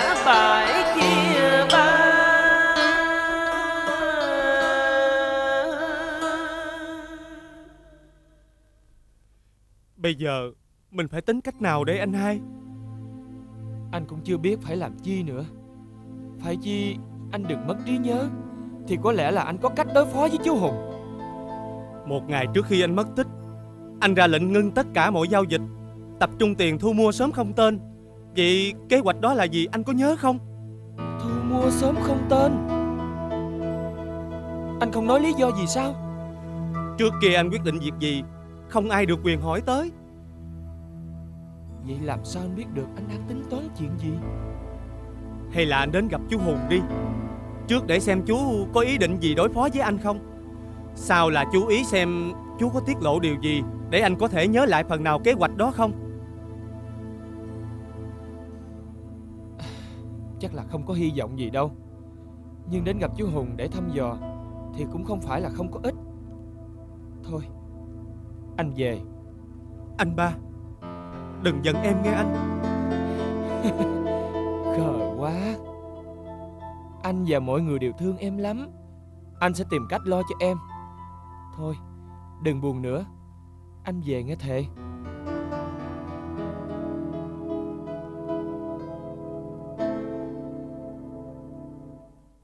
Thưa ông, xin ông đừng giận Chúng ta đã làm ăn lâu nay. Chúng tôi chưa hề thất tín với công ty ông mà. À, Dạ, dạ, à, dạ, dạ khoan khoan. À, Tôi sẽ đến tìm ông. Chúng ta có thể thương lượng được mà ông ơi. Dạ, ông ơi!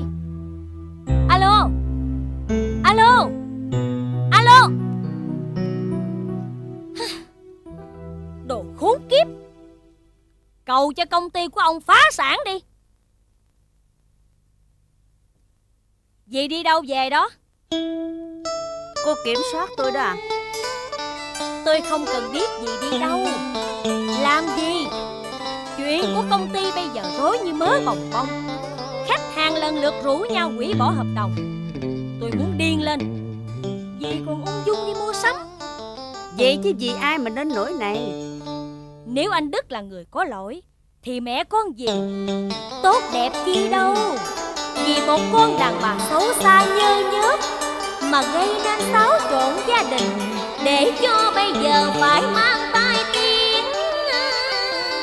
Cô ơi Vì thằng Hải nó dại ngu, Nó tưởng người ta thật lòng yêu nó. Nhưng lỗi kia nào có lớn, lao gì So với kẻ gian manh, giật giành mua bán. Anh Đức hiện giờ không có nơi đây. Và tôi không có trách nhiệm trong việc này. Nếu mình lo trọn bổn phận vợ hiền Thì ông chồng đâu tin chuyện đạo điên Nhưng bà đừng đem chuyện dớ dẫn riêng tư. Để dâu che cái tâm địa của bà Rút cổ co đầu khi gặp phải khó khăn. Nếu tôi không tự lo cho mẹ con tôi Thì trong nhà này có ai chở che đùm bọc khi tôi xa cơ thất thế chứ? Nhưng tôi yêu cầu gì? Phải đến công ty đúng giờ. Và muốn vắng mặt Thì phải xin phép trước Không phải mỗi lần muốn liên hệ với gì Là phải cho người chạy kiếm khắp nơi. Dạ thưa gì Thưa chị hai. À Trúc Mới tới đó hả con? Con ngồi chơi nha Dì phải đi làm bản báo cáo không thôi thì bị đuổi việc khổ lắm. Chị hai, Anh Sơn chưa về sao chị? Nó đi thăm thằng Thệ giờ này chưa về. Chắc là đi tìm con nhỏ đó rồi. Còn chuyện chị nhờ em Em lo tới đâu rồi? Em đi gặp họ, Và quá là Họ đã mang đi hai cổ phần công ty. Còn bán cho ai Thì họ không tiết lộ nửa lời sợ chuyện này sẽ gây nhiều ảnh hưởng. Tới những cổ đông còn lại của công ty, Sợ rồi đây họ sẽ tiếp tục bán đi. Vậy là rõ ràng có người muốn phá chúng ta, Thu mua cổ phần để làm chủ công ty mà. Phải lập tức điều tra, xem kẻ đó là kẻ nào. Nhưng mà với chị em mình thì cũng không làm được gì đâu. Đúng là một lũ ăn hại. Một bà thì chỉ lo thủ lợi Một ông cậu chỉ biết bạc bài. Anh Đức bỏ đi Thằng Thề ở tù Còn thằng Sơn thì Chị hai! Anh Sơn! Tôi hỏi Ai cho phép các người tới sớm không tên? Mát sát người ta đủ lợi nặng nhẹ Tôi đâu có còn là đứa trẻ lên ba Mà can thiệp vào để dạy con tôi. Nhưng mà mình bề thế thiện lương Đâu thể giao du với người hạ tiện nó từng bước đến nơi đây Để mà thực hiện mưu sâu Nếu như tôi cưới lại Mà ảnh hưởng đến thanh danh Thì tôi sẽ rời khỏi nơi này Để tiếp tục cuộc sống lang thang. Để cho các người không bị ố quen tối nhục. Nhưng kể từ hôm nay, Tôi cấm đụng đến người ta. Được. Mày khỏi cần đi đâu hết. Cái nhà này sắp sụp đổ rồi. Công ty của mày cũng sắp tiêu tan rồi. Xứng lắm. Một thằng phá sản Và một con hạ tiện. Xứng đôi lắm. Chờ mà lấy nó. Còn cô nữa. Tại sao cô phải làm như vậy? Tại sao từ một vị trí của một kẻ ban bố Cô lại nhảy vào làm một kẻ giành giật bằng mưu mô. Anh Sơn. Tại sao cô hủy hoại cái hào quang sáng đẹp của mình Mà chúng tôi đã từng tôn sùng và ngưỡng mộ? Anh. Chính cô. Cô đã tự nguyện lùi bước Để là một con người cao thượng. Thì tại sao cô phải âm thầm lén lút là một kẻ tiểu nhân? Tại sao? Tại sao? Tại vì Tôi tha thiết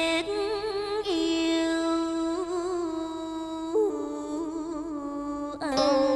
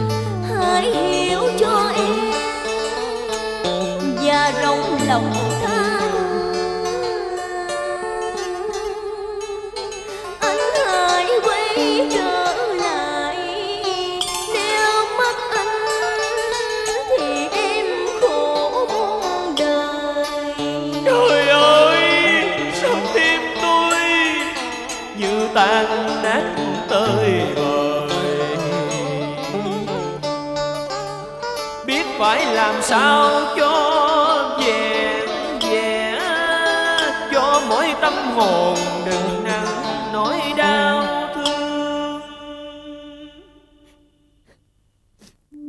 Nhưng mà cô lại đã bằng lòng bỏ cuộc. Cô ấy trả cho anh sâu chuỗi này. Và không muốn gặp anh nữa. Anh sơn mọi chuyện đã kết thúc rồi anh sơn à. Sâu chuỗi Tại sao sâu chuỗi của lại Cô lại đeo? Hôm qua chị hai cho người mang qua nhà em. Chị nói là anh tặng cho em mà. Chị nói láo! Tôi mới hiểu chuyện đó cách đây vài giờ trước khi tôi bước vào đây. Hơn nữa Nếu sâu chuỗi ấy lại không nhận Thì tôi cũng không thể nào tặng cho ai khác. Dương Kỳ Sơn Dương Kỳ Sơn. Tình yêu của tôi Được anh đáp lại bằng sự lạnh lùng tàn nhẫn.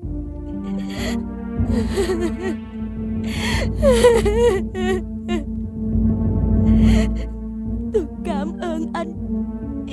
Tôi cảm ơn anh. Kể từ giờ phút này, Tình yêu của tôi dành cho anh bấy lâu nay. Đã tan tành đổ nát như Kỳ Sơn.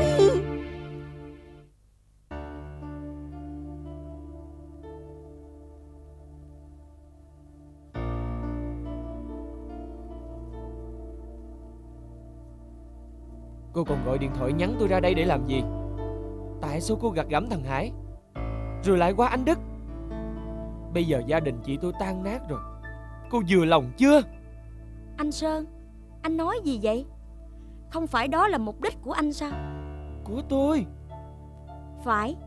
Chính anh đã bảo em làm như vậy mà.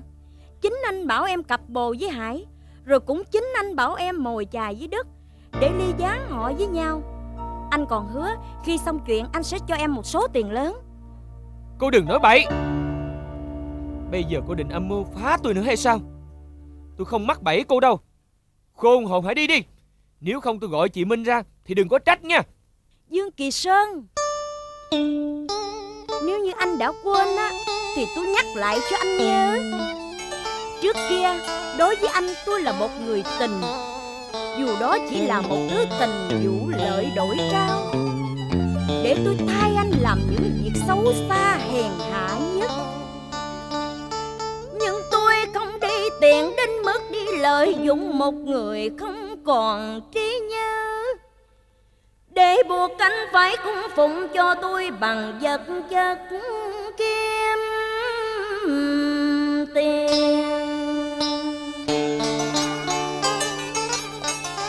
Tôi chỉ muốn anh thực hiện ngay lời hứa của mình. Vì anh mà bây giờ tôi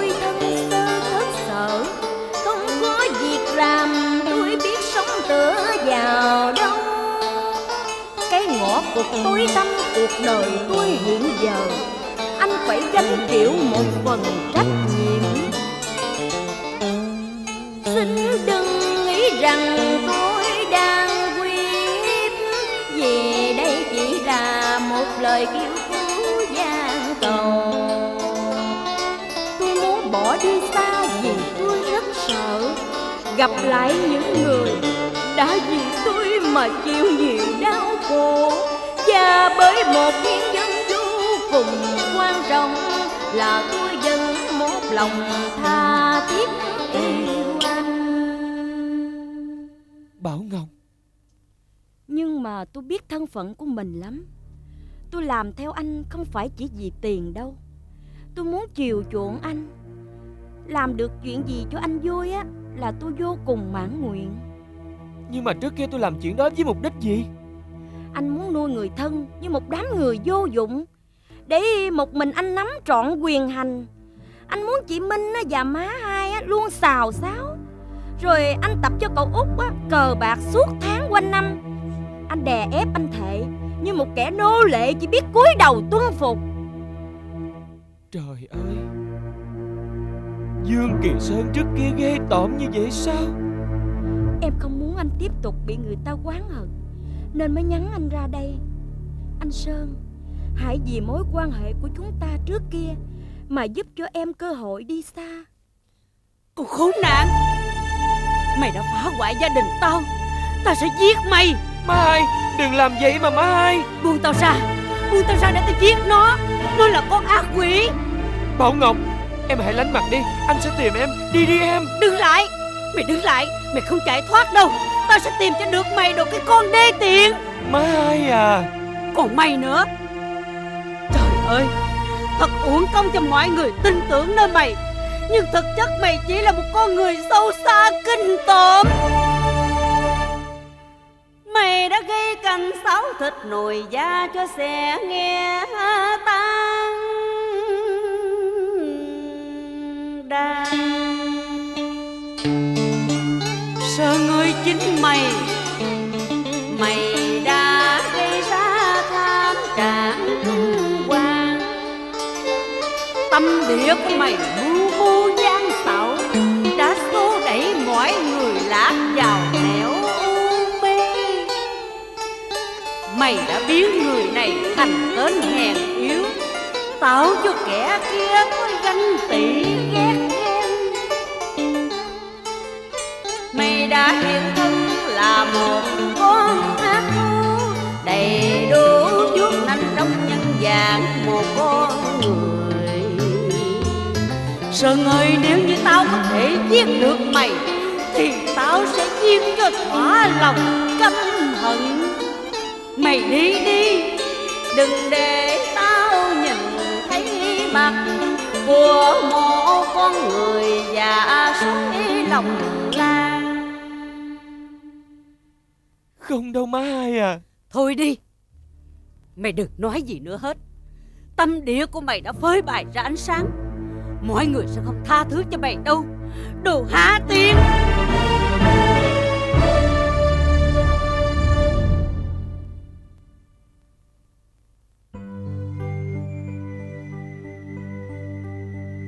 Chú Hùng. À... Tôi không hề nghĩ rằng cậu đến tìm tôi. Vì Dương Kỳ Sơn trước kia chỉ biết chiến đấu chứ không hề thỏa hiệp. Cậu cứ ngồi và thẳng thắn bàn bạc với nhau. Dạ. Cháu biết trước kia cháu có lỗi với chú rất nhiều. Nhưng hiện giờ chú đã gom được cổ phần và lên làm giám đốc công ty. Chú hãy bỏ qua mọi chuyện. Đừng làm hại người thân của cháu nữa. Đừng sâu đẩy thằng Thể vào tù chú à. Chuyện thằng Thể nó vào tù có liên quan gì tới tôi. Nó thông đồng với nhân viên của tôi để chiếm dụng tài sản. Lỗi là do nó mà. Chú Hùng Cháu không muốn tranh luận với chú nữa. Chú làm mọi chuyện cũng vì muốn hạ gục cháu mà thôi. Vậy chú cỡ thẳng thắn đi. Thật ra chú còn muốn gì ở cháu nữa chứ? Tốt. Tao chờ đợi câu nói này của mày lâu lắm rồi Mày còn nhớ là sau khi Mày học từ bên Pháp quay về, Còn tao là người lăn lộn chốn thương trường. So với mày, tao có nhiều kinh nghiệm, Nhưng con người của mày luôn gặp phải những may Kế hoạch nào của mày thành công tốt đẹp, Ai cũng với thường tao là xem mày như thần tượng. 28 tuổi mày đã ngồi ghế giám đốc công ty. Cả cháu gái của tao cũng bị mày thu phục. Cơ may của cháu đâu phải là cái tội. Làm lợi cho công ty thì mỗi người cùng hưởng. Sao chú lại dành cho cháu sự ghét ghen? Vì sau đó mày bắt đầu học thói gian tà Mày hất cắn mọi người trong đâu có tao. Tao phải tự tay gây cơ nghiệp đại hùng. Nên mối thù này tao rất tốt Cháu hiểu rồi Nhưng hậu quả này cháu xin chấp nhận một mình. Chú đừng làm liên lụy đến người thân của cháu nữa. Vậy thì mày bảo họ đứng ra ngoài cuộc đi. Bằng cách nào? Bảo họ nhường hết phần hùng ở công ty cho tao. Không được. Công ty là tâm huyết cả đời của ba cháu gây dựng lên. Cháu không thể để nó lọt vào tay của kẻ khác. Bây giờ Chú đã làm giám đốc công ty. Gia đình cháu đã thành những cổ đông tầm thường như bao cổ đông khác. Chú còn muốn gì nữa?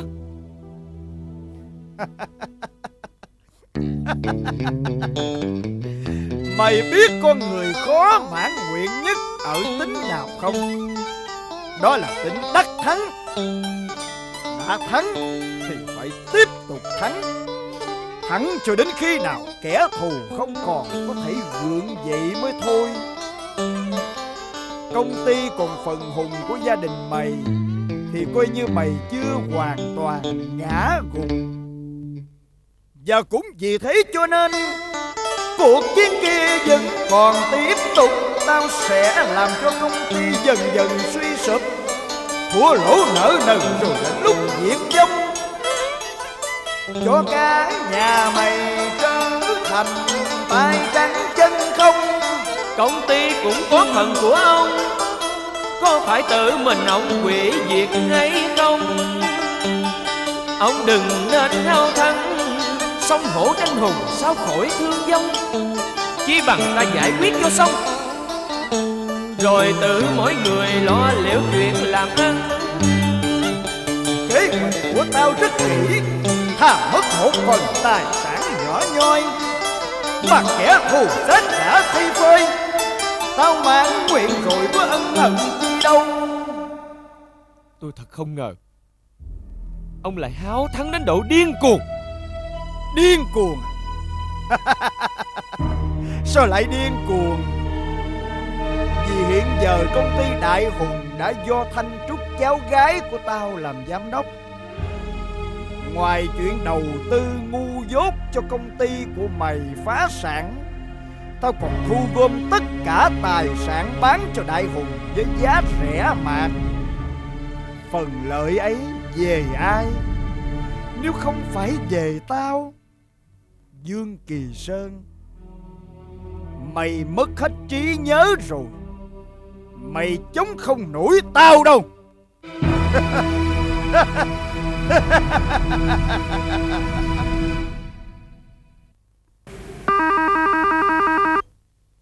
Alo Dương Kỳ Sơn nghe đây. Anh Sơn Em đã nhận được số tiền anh gửi cho em rồi. Em cảm ơn anh. À chừng nào em đi? Em đang trên đường ra sân bay. Chợt nhớ đến một chuyện quan trọng. Em muốn nhắc lại cho anh nhớ. Em nói đi.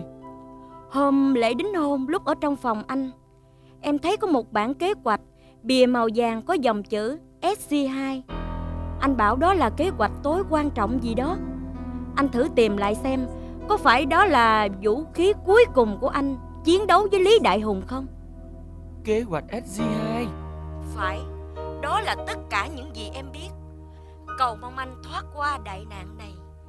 Khi nào em ổn định Em sẽ liên lạc cho anh nha. Chào anh. Chào em. Kế hoạch SG2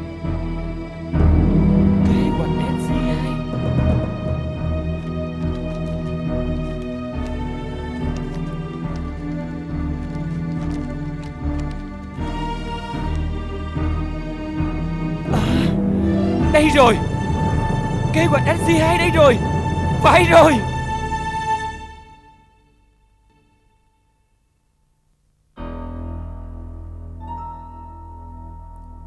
Bây giờ Chúng ta phải tìm cách nào Chứ không lẽ để cho ổng phá nát công ty hay sao? Còn cách nào nữa? Đa số cổ đông nó nghiêng về phía ổng. Nhà mình ai cũng được nghỉ phép dài hạn Chỉ có nước chờ chết thôi. Không Nhà mình sẽ không chết. Tôi đã có cách rồi. Thôi cho tao xin mày đi. Cả nhà khốn đốn gì mày bao nhiêu đó chưa đủ sao? Mày có cách làm cho chúng tao chết nhanh hơn cũng tốt. Mày nói đi. Đây là bản kế hoạch SG2 Mình phải nhanh chóng bí mật thu mua ngay sớm không tên. Lại là cái sớm không tên. Cũng vì nó mà giờ đây mới ra nông nổi như vậy nè. Thôi đi mày đừng có điên nữa Sơn ơi.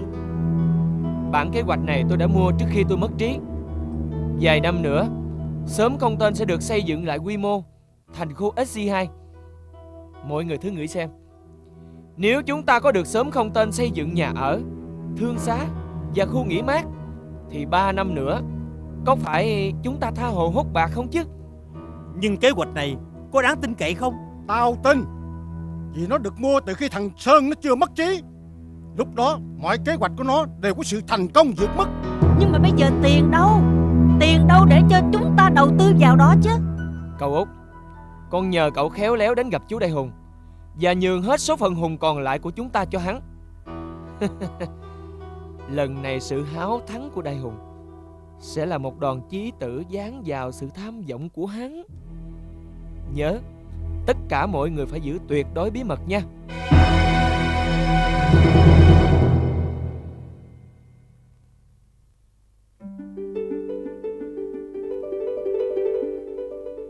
Anh Bình ơi. Hả? Anh có thể tưởng tượng Đây là khu Sài Gòn 2 Nguyên nga tráng lệ. Bên cạnh đó là khu cao ốc khách sạn và thương xá của tôi. Chịu khó trong 3 năm nữa Gia đình tôi á sẽ giàu có gấp mấy lần lúc trước đó. Trời ơi, thôi. Trời ơi, đừng có múa tay múa chân của chừng té xuống sông bây giờ đây nè. Ôi, Anh giàu thì sao chứ? Biết đâu lúc đó chúng tôi sẽ mất đi một người bạn mà chúng tôi yêu quý nhất Kìa sao anh lại nói vậy? Có bao giờ tôi quên những người ở xóm không tên đâu? Anh thấy đó Dù hiện giờ Lại không có muốn gặp tôi nữa Nhưng mà tôi vẫn quyết tâm đeo đuổi lại. Tôi không thể nào xa lầy được anh Bình à. Ê ê ê. Ê Hả? Bà Bà đi đâu vậy kìa? Ờ, Bây, sao, sao? bây giờ Bây giờ làm làm theo tôi nha. Giả, giả bộ làm theo tôi nè nha. Làm sao? À. Trời ơi Mạnh ơi Mạnh ơi Đừng có làm vậy mà Mạnh ơi Có gì đâu mà anh đòi chết. Có gì đâu mà anh đòi chết vậy anh Mạnh ơi.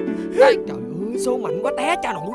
Im đi cha Trời đất ơi Anh Mạnh ơi Trời ơi anh Mạnh ơi Cô lại cô giận. Nên cô lánh mặt thôi Chứ có cái gì đâu mà đòi tự tử. Anh Mạnh ơi đừng, đừng, đừng. Ai tự tử nào? Trời ơi đồ ngu Làm theo tôi đi. Làm theo tôi nè. Trời ơi Mạnh ơi Mạnh ơi Tôi gian anh mà. Trời ơi Ơ kìa Lại. Bà qua kéo anh lại giùm tôi đi. Làm cho anh buồn chứ anh đòi nhảy xuống sông tự tử kìa bà ơi. Hai người Hai người bày trò gì đó? Trời ơi ai có bày trò gì đâu nè. Anh muốn nhảy xuống sông. Ờ ờ để tôi nhảy cho xong Thôi đừng đừng Chớ có nhảy anh Mạnh ơi. Ơi ơi đã đừng có níu kéo tôi Sống một mình viên bóng đơn côi Tôi chết cho rồi tôi mới yên thân tôi. Ê, Trời Phật ơi sao mà nặng quá xa? Tôi mỏi tay quá rồi. Thà là mồi cho cá Còn hơn là phải sống trên đời. Anh làm gì mà đòi nhảy xuống sông? Nếu chết rồi anh có được gì không? Được hay không còn hỏi chi cho mệt. Ông sắp làm cái thằng trọng chết trôi rồi kìa Cái bụng ảnh chương bình. Bà đứng nhìn đành đoạn hay sao? Cứu. Ờ, ờ, Bộ bộ, bộ anh muốn chết lắm hả?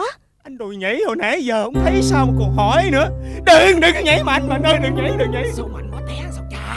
Trời ơi Trời ơi diễn diễn ông ơi. À, à, à, Trời ơi à, Để cho tôi chết đi. Tôi chết nè tôi nhảy nè. Đừng Đừng nhảy anh à Đừng tự tử mà. Bây giờ bà hứa đi Bà hứa đừng giận ảnh nữa. Nếu Nếu không anh nhảy đó Anh nhảy đó. Tôi tôi tôi tôi à, tôi tôi tôi hứa tôi hứa Anh đừng nhảy mà. Rồi Xong rồi phải không?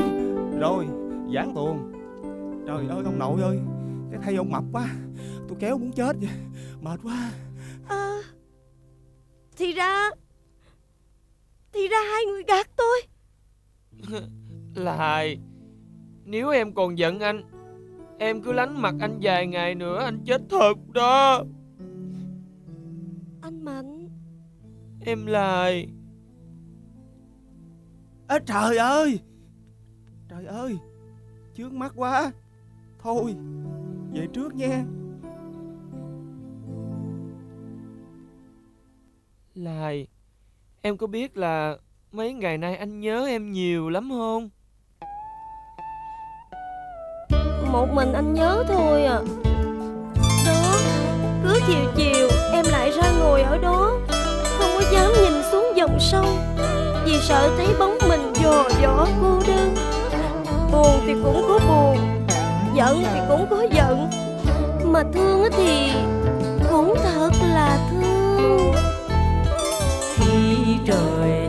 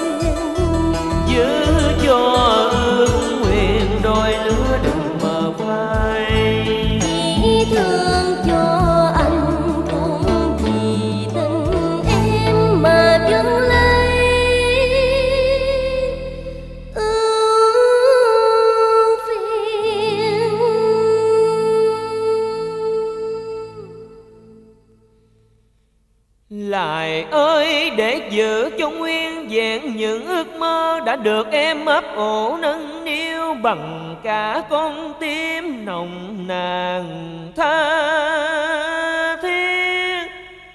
Miễn đừng để hai ta đôi đường cách biệt, Thì anh có chịu mấy gian nan phiền lụy cùng không? Mang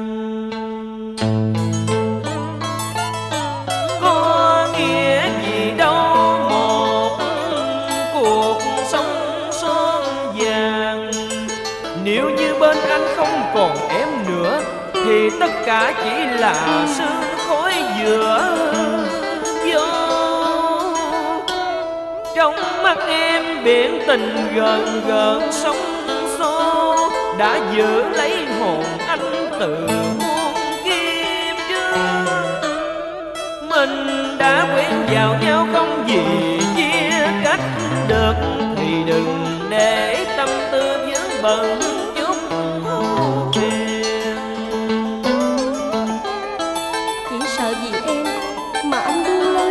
Cả tương lai và sự nghiệp.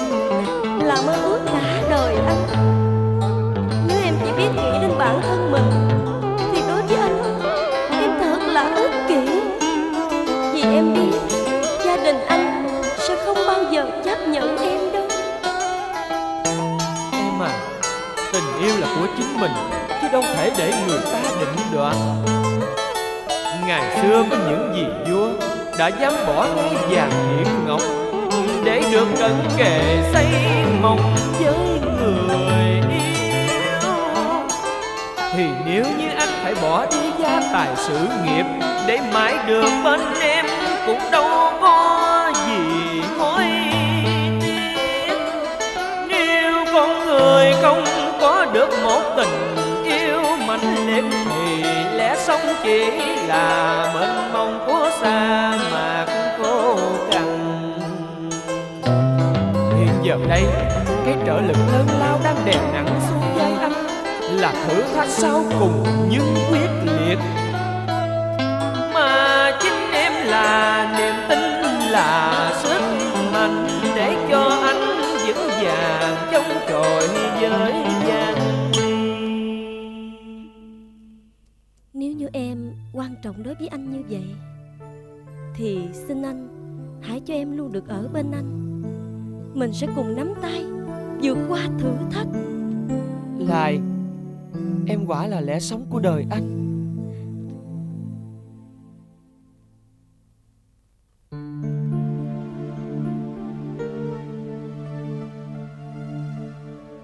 Sơn Em đi đâu cả ngày? Làm chị lo quá. Chị có đến sớm không tên? Có đến đó tìm em Nhưng mà không có gặp Em đi gặp vài người quen. Mình đang cần tiền mà chị. Sẵn đường ghé thăm thằng Thể. Gần đây ai cũng bận hết, Ít ghé thăm nó. Em dặn chị rồi. Chị nên nhớ kế hoạch của mình Hoàn toàn bí mật, Đừng léo hánh đến sớm không tên. Để tránh sự theo dõi dùm hóa của con cáo già đó nghe chị. Chị nhớ rồi. Lúc nãy chị tìm em Và cũng để Xin lỗi cô Lài Xin lỗi bà con ở đó. Nhìn thấy họ Hết lòng giúp em. Chị xấu hổ quá à. Chị hai Đừng nhắc chuyện đó nữa chị hai à. Bây giờ Nhà mình đã biết hòa thuận thương yêu lẫn nhau. Những gì không vui của ngày hôm qua Bỏ hết đi chị. Chính vì mọi người quá rộng lượng bao dung nên chị mới thấy mình càng thêm tuổi hổ. Sống giữa vàng son nhung lụa, Ta cứ tưởng mình cao quý so với thiên hạ chung quanh. Nhưng trong cái danh lời đua chen Đã khiến con người luôn tỉ hiềm ganh kia Bỏ mất sự sáng trong cao đẹp của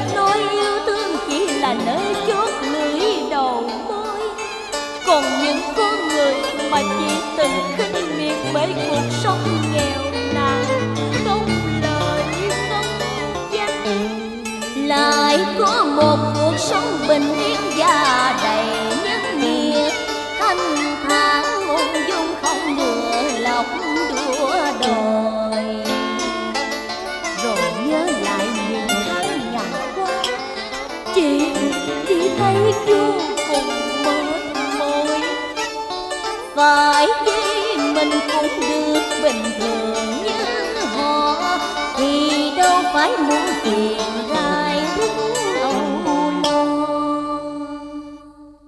Chị hai à Em hiểu điều đó. Gia đình mình phải trả một cái giá không phải nhỏ Nhưng xót xa mãi cũng chẳng có ích gì đâu. Quan trọng là mình phải sống sao Trong quãng đời còn lại. À Chị tìm em có việc gì vậy? Biết em đang cần tiền Mọi người đã gom góp hết những gì mình dành dụm để đưa em xoay sở. Phần chị với anh Đức Chị. Chị cầm ngôi biệt thự này để giúp cho em. Em Em đã làm liên lụy mọi người. Đâu phải lỗi mình em. Thôi Đừng suy nghĩ nữa. Hãy để dành tâm trí mà lo cho kế hoạch của em. Bây giờ Em nhờ chị mang hết số tiền vừa gom được. Chị đến sớm không tên Gặp anh Bình và Lai. Chi trả cho bà con phân nửa theo hợp đồng. Nếu chưa đủ Chiều nay em sẽ lo thêm. Mình đã dồn hết vốn liếng sau cùng vào đây. Em Em nên cẩn thận nha. Chị đi à. Chị Lấy xe của em đi cho lẹ.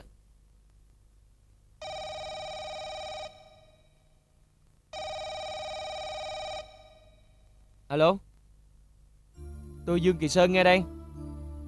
Xin lỗi Ông là ai Ông không chịu xưng tên thì làm sao tôi biết được? Tôi nợ ông 10 triệu gì? Kế hoạch giả. Kế hoạch giả nào? Hết C2 là kế hoạch giả.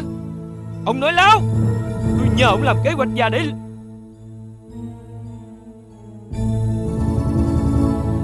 Trời ơi!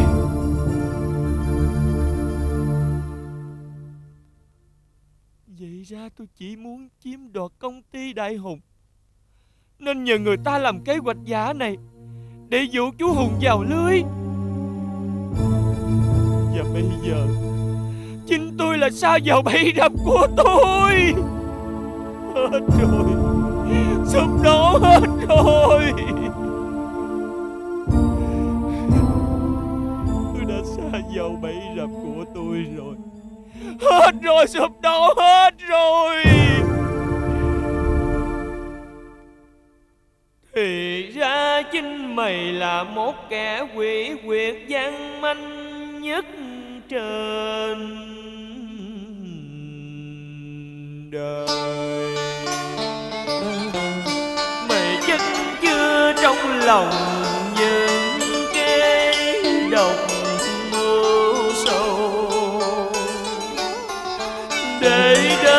giờ đây mày đã làm khổ lụy cho người thân. Ôi, cuộc sống con chen Chỉ có lọc lừa đi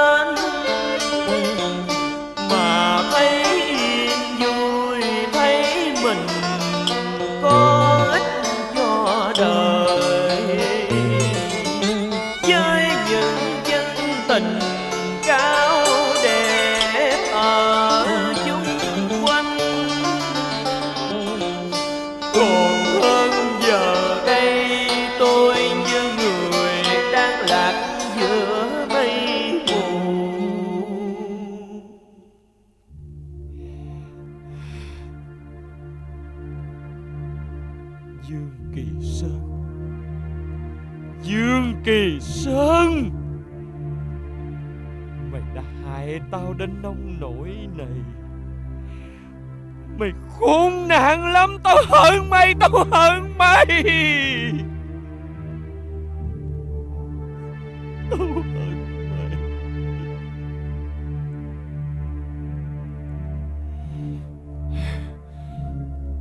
Dương Kỳ Sơn.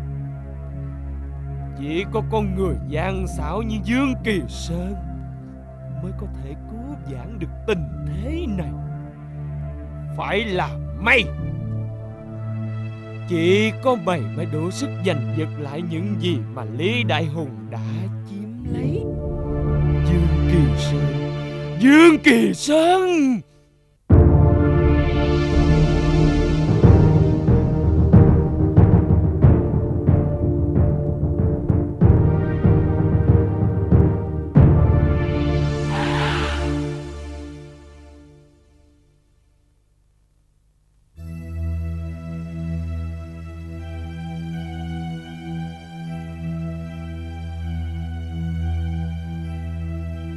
Con hãy lên nhà thay đồ. Chú bảo tài xế chở con đến bệnh viện. Con xin lỗi chú Con không đến đâu. Nghe nói nó đã hồi phục lại trí nhớ. Chẳng lẽ con chối bỏ cơ hội tìm lại tình yêu tha thiết của con sao? Tình yêu của con đã mang quá nhiều tỳ vết. Tìm lại làm gì? Khi bản thân con không thể hạnh phúc như xưa Mà lại thêm một người con gái khác phải khổ. Dương Kỳ Sơn. Dương Kỳ Sơn là ai chứ? Mà những người con gái như chúng con phải chực chờ cho hắn lựa chọn. Ai đó? Chào chú Hùng. Chú vẫn khỏe chứ? Dương Kỳ Sơn. Không phải là anh đang nằm viện sao? Trước kia, anh cùng em đi thăm công trường. Anh bị một thanh sắt to đập vào vai. Ai cũng nghĩ rằng anh nằm bệnh viện ít nhất là nửa tháng. Còn em thì cứ khóc mãi bên giường bệnh của anh. Vậy mà, Trong vòng ba hôm, Anh đã ở ngoài công trình mới khởi công. Em chạy theo anh đòi anh phải quay về. Vô tình chợt chân Em ngã nhào trong đống gạch. Chú Hùng dẫn anh lên mắt anh một trận. Còn em hành hạ anh đang để suốt một tuần. Tai nạn hôm kia bị thương nhẹ ở đầu. Thì có lý do nào anh nằm bệnh viện lâu hơn? Vậy Vậy là cậu nhớ lại tất cả rồi. Công trình đó lúc đầu chú cực lực phản đối. Cuối cùng Cháu đã đem lại cho công ty gần 5 tỷ bạc Sợ chú còn giận con. Con nhờ Thanh Trúc mua hộp xì gà thượng hạng tặng chú kìa. Tôi nhớ. Và tôi vì tự ái đã đem trả lại cho cậu. Không. Chú lầm rồi. Chẳng những chú nhận Mà còn vỗ vào vai cháu Khen tuổi trẻ tài cao. Anh ở đây nói chuyện với chú. Em lên phòng trước. Thanh Trúc Bàn xong công việc với chú Hùng Anh sẽ đưa em đi dạo phố. Còn cô lại ở xóm không tên? Em nghĩ rằng Dương Kỳ Sơn này có thể cưới một cô gái thấp hèn như thế làm vợ sao? Thừa lúc anh mất trí Họ bám riết theo anh để mưu cầu lợi lộc. Bây giờ Anh đã nhớ lại tất cả.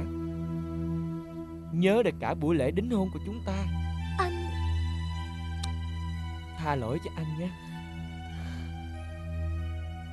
Nhưng hôm nay tôi bận. Xin lỗi anh. Hôm nay Cậu tìm tôi có chuyện gì? Con đang có một công trình quy mô. Chú có muốn hợp tác không? Cậu muốn nói đến kế hoạch SC2 của cậu chứ gì? Đúng vậy. Nhưng tại sao mấy ngày trước đây Tôi đã đích thân Tìm đến cậu để chúng ta hợp tác chuyện này. Thì cậu kiếm cớ để chối tôi và nặng nhẹ đuổi xua. Còn hôm nay thì đích thân cậu tìm đến nơi này. Vấn đề hợp tác cậu tự mình đặt ra là nghĩa làm sao.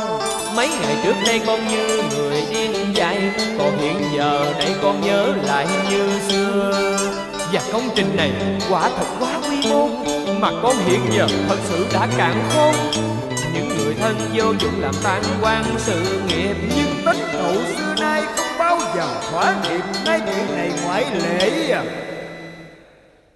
Nói thẳng ra, Con không tốt bụng gì mà làm giàu cho chú, Mà con đang nghĩ đến món lợi cho mình. Không có chú, Con chỉ đủ sức làm một công trình nhỏ, Thu về món lợi nhỏ. Nếu có chú, Con sẽ thực hiện một công trình lớn hơn. Và thu về món lợi lớn hơn. Hơn nữa Trên thương trường Dương Kỳ Sơn này chưa hề thực hiện một công trình có quy mô nhỏ. Đúng vậy. Tôi nhớ có một lần duy nhất tôi với cậu hợp tác với nhau đấu thầu một công trình có tầm cỡ. Sau khi chia lời Tôi còn thưởng lại cho cậu 100 triệu tiền lợi nhuận. Sao mà ít vậy chú Chú thưởng cho con 130 triệu mà. Nhưng hôm đó là ngày thứ sáu Nên con xin thêm chú 200 Để tránh con số 13 mà. Thứ sáu ngày 13 là ngày đại kỷ của con. Chú không nhớ sao? Tốt Tôi sẽ hợp tác với cậu. Được Vậy con cần vài ngày lo thủ tục nhé Tôi cũng cần vài ngày để giải quyết việc riêng. Trong thời gian đó, Tôi sẽ cho người cùng với cậu di dời hết dân của xóm không tên đi nơi khác. Khi nào hợp đồng ký kết xong, Ta sẽ lên kế hoạch xây dựng. Chúc cho sự hợp tác thắng lợi.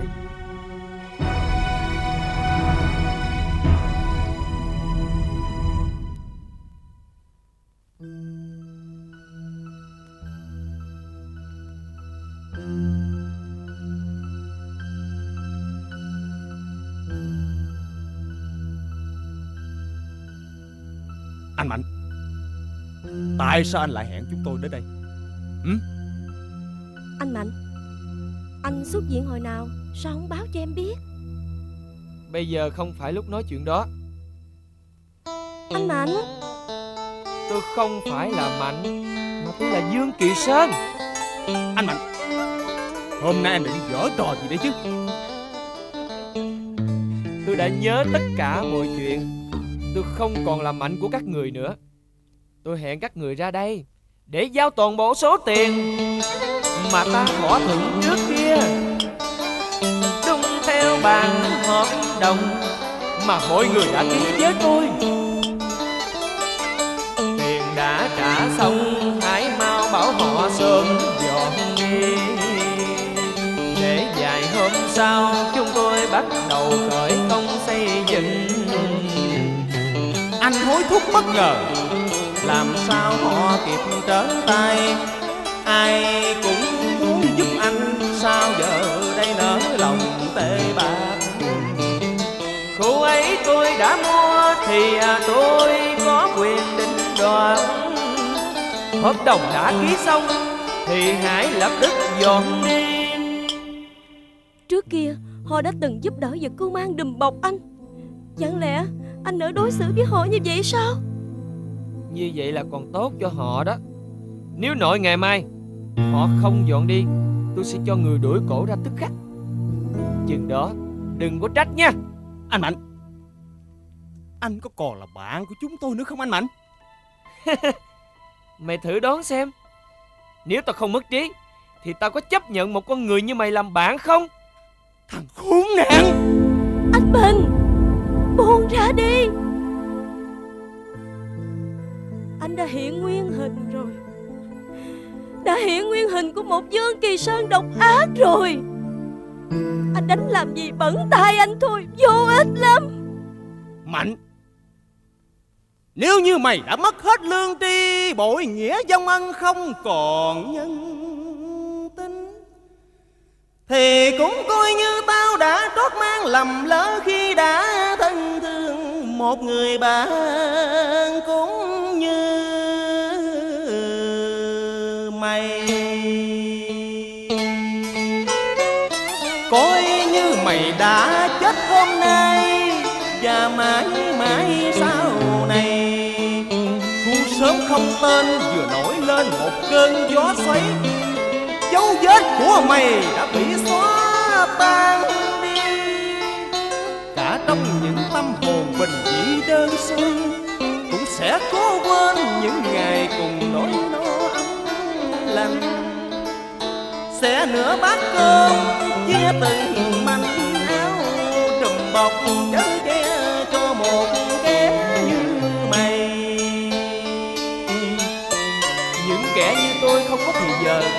Điều nhân nghĩa. Anh nói với tôi những điều đó. Anh không thấy thừa thải hay sao? Tao phải nói. Vì không thể ra tay đấm thẳng vào bộ mặt liễu tráng của mày. Vậy chứ còn cô? Họ muốn quên tôi đi. Có lẽ cô cũng vậy chứ gì?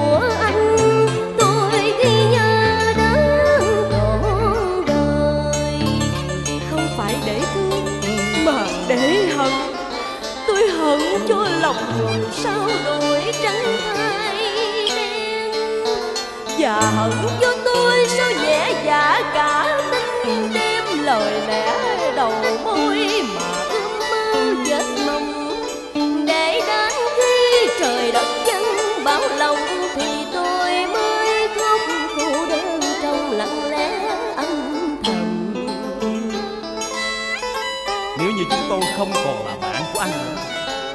Thì anh đừng bao giờ, sớm không tên để tìm chúng tôi nữa. Nè, Không ai bán nhà đất cho anh đâu. Mình về lại. Khoan đã, Tôi muốn nói với hai người những lời sao chót. Trước khi chúng mình mãi mãi chia xa, Tôi không phải là thú cầm hay sỏi đá vô tri Mà sớm dội giống tình bác vẫn nhớ những ngày lưu lạc. Được mỗi người chia cơm sẻ áo cho cả tình thương. Nhưng đây là kế hoạch quan trọng nhất của đời tôi. Vì nó mà tôi sẵn sàng hy sinh tất cả.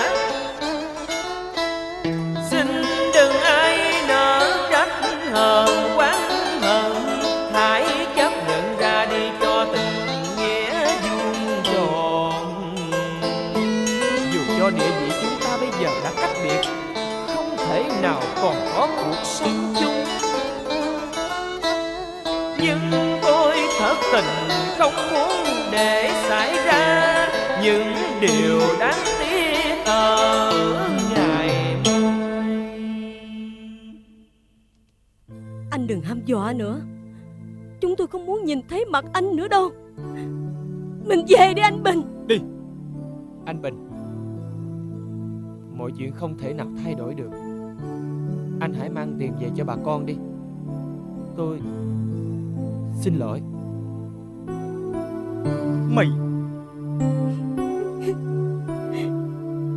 Anh Bình ơi.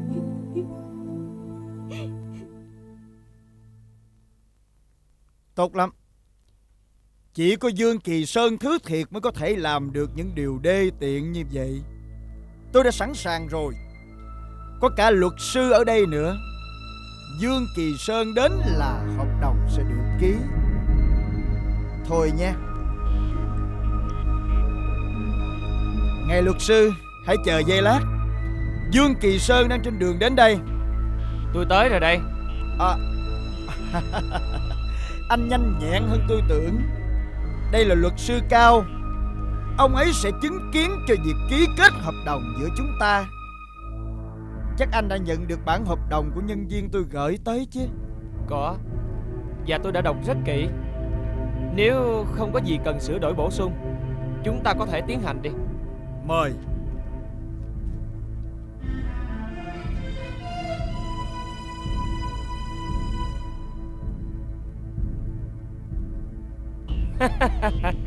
Như vậy là mọi việc đã ổn thỏa.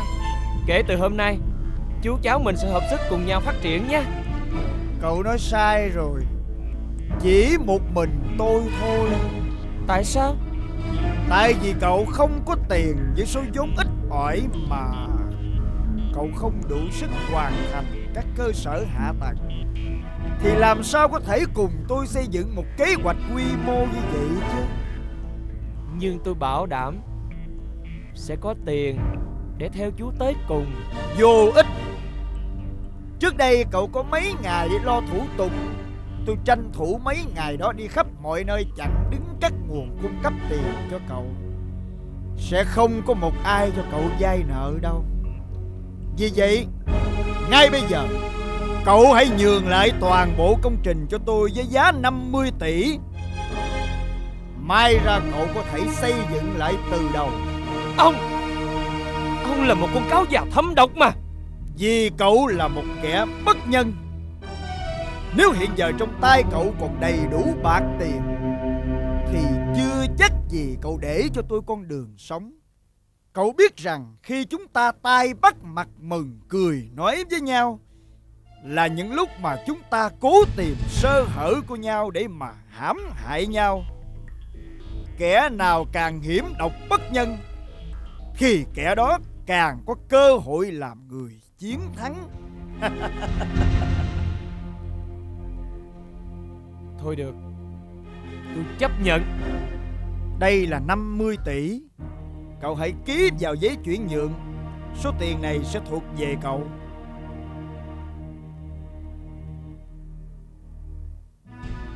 Dạ Mọi việc đã xong. Tôi xin phép. Cảm ơn ông. Tôi sẽ đến mời ông dùng cơm vào trưa mai Xin chào. Ngày mai tôi có đặt tiệc ở nhà hàng Nếu tôi mời cậu. Cậu không ngại chứ? Ông sắp sạc nghiệp rồi. Mà ông còn mừng được sao? Là tôi hay cậu? Là ông. Tại sao? SG2 là kế hoạch giả. Chính tôi đã mua nó để nhử ông vào trồng Thật tình. Tôi không nhớ được gì cả. Những gì tôi nói với ông và Trúc Chỉ là những điều thằng Thể kể lại cho tôi nghe. Lý Đại Hùng. Sự quỷ quyệt của ông có thể đối đầu với Dương Kỳ Sơn. Nhưng lợi thế của tôi là hiện nay tôi không còn trí nhớ. Tôi chống lại ông vì bản năng sinh tồn. Còn ông hạ gục tôi vì đầu óc mưu mô và lòng tham không đáy. Chính những thứ đó đã dễ dàng đưa ông vào bẫy. Cuộc diện đã phân thắng bại. Ông hãy ngồi đó mà mơ mộng trên bản kế hoạch giả Mà ông đang mua bằng cả một sự nghiệp của ông. Ông hiểu rồi chứ?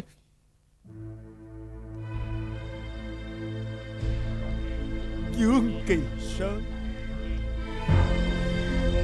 Dương Kỳ Sơn!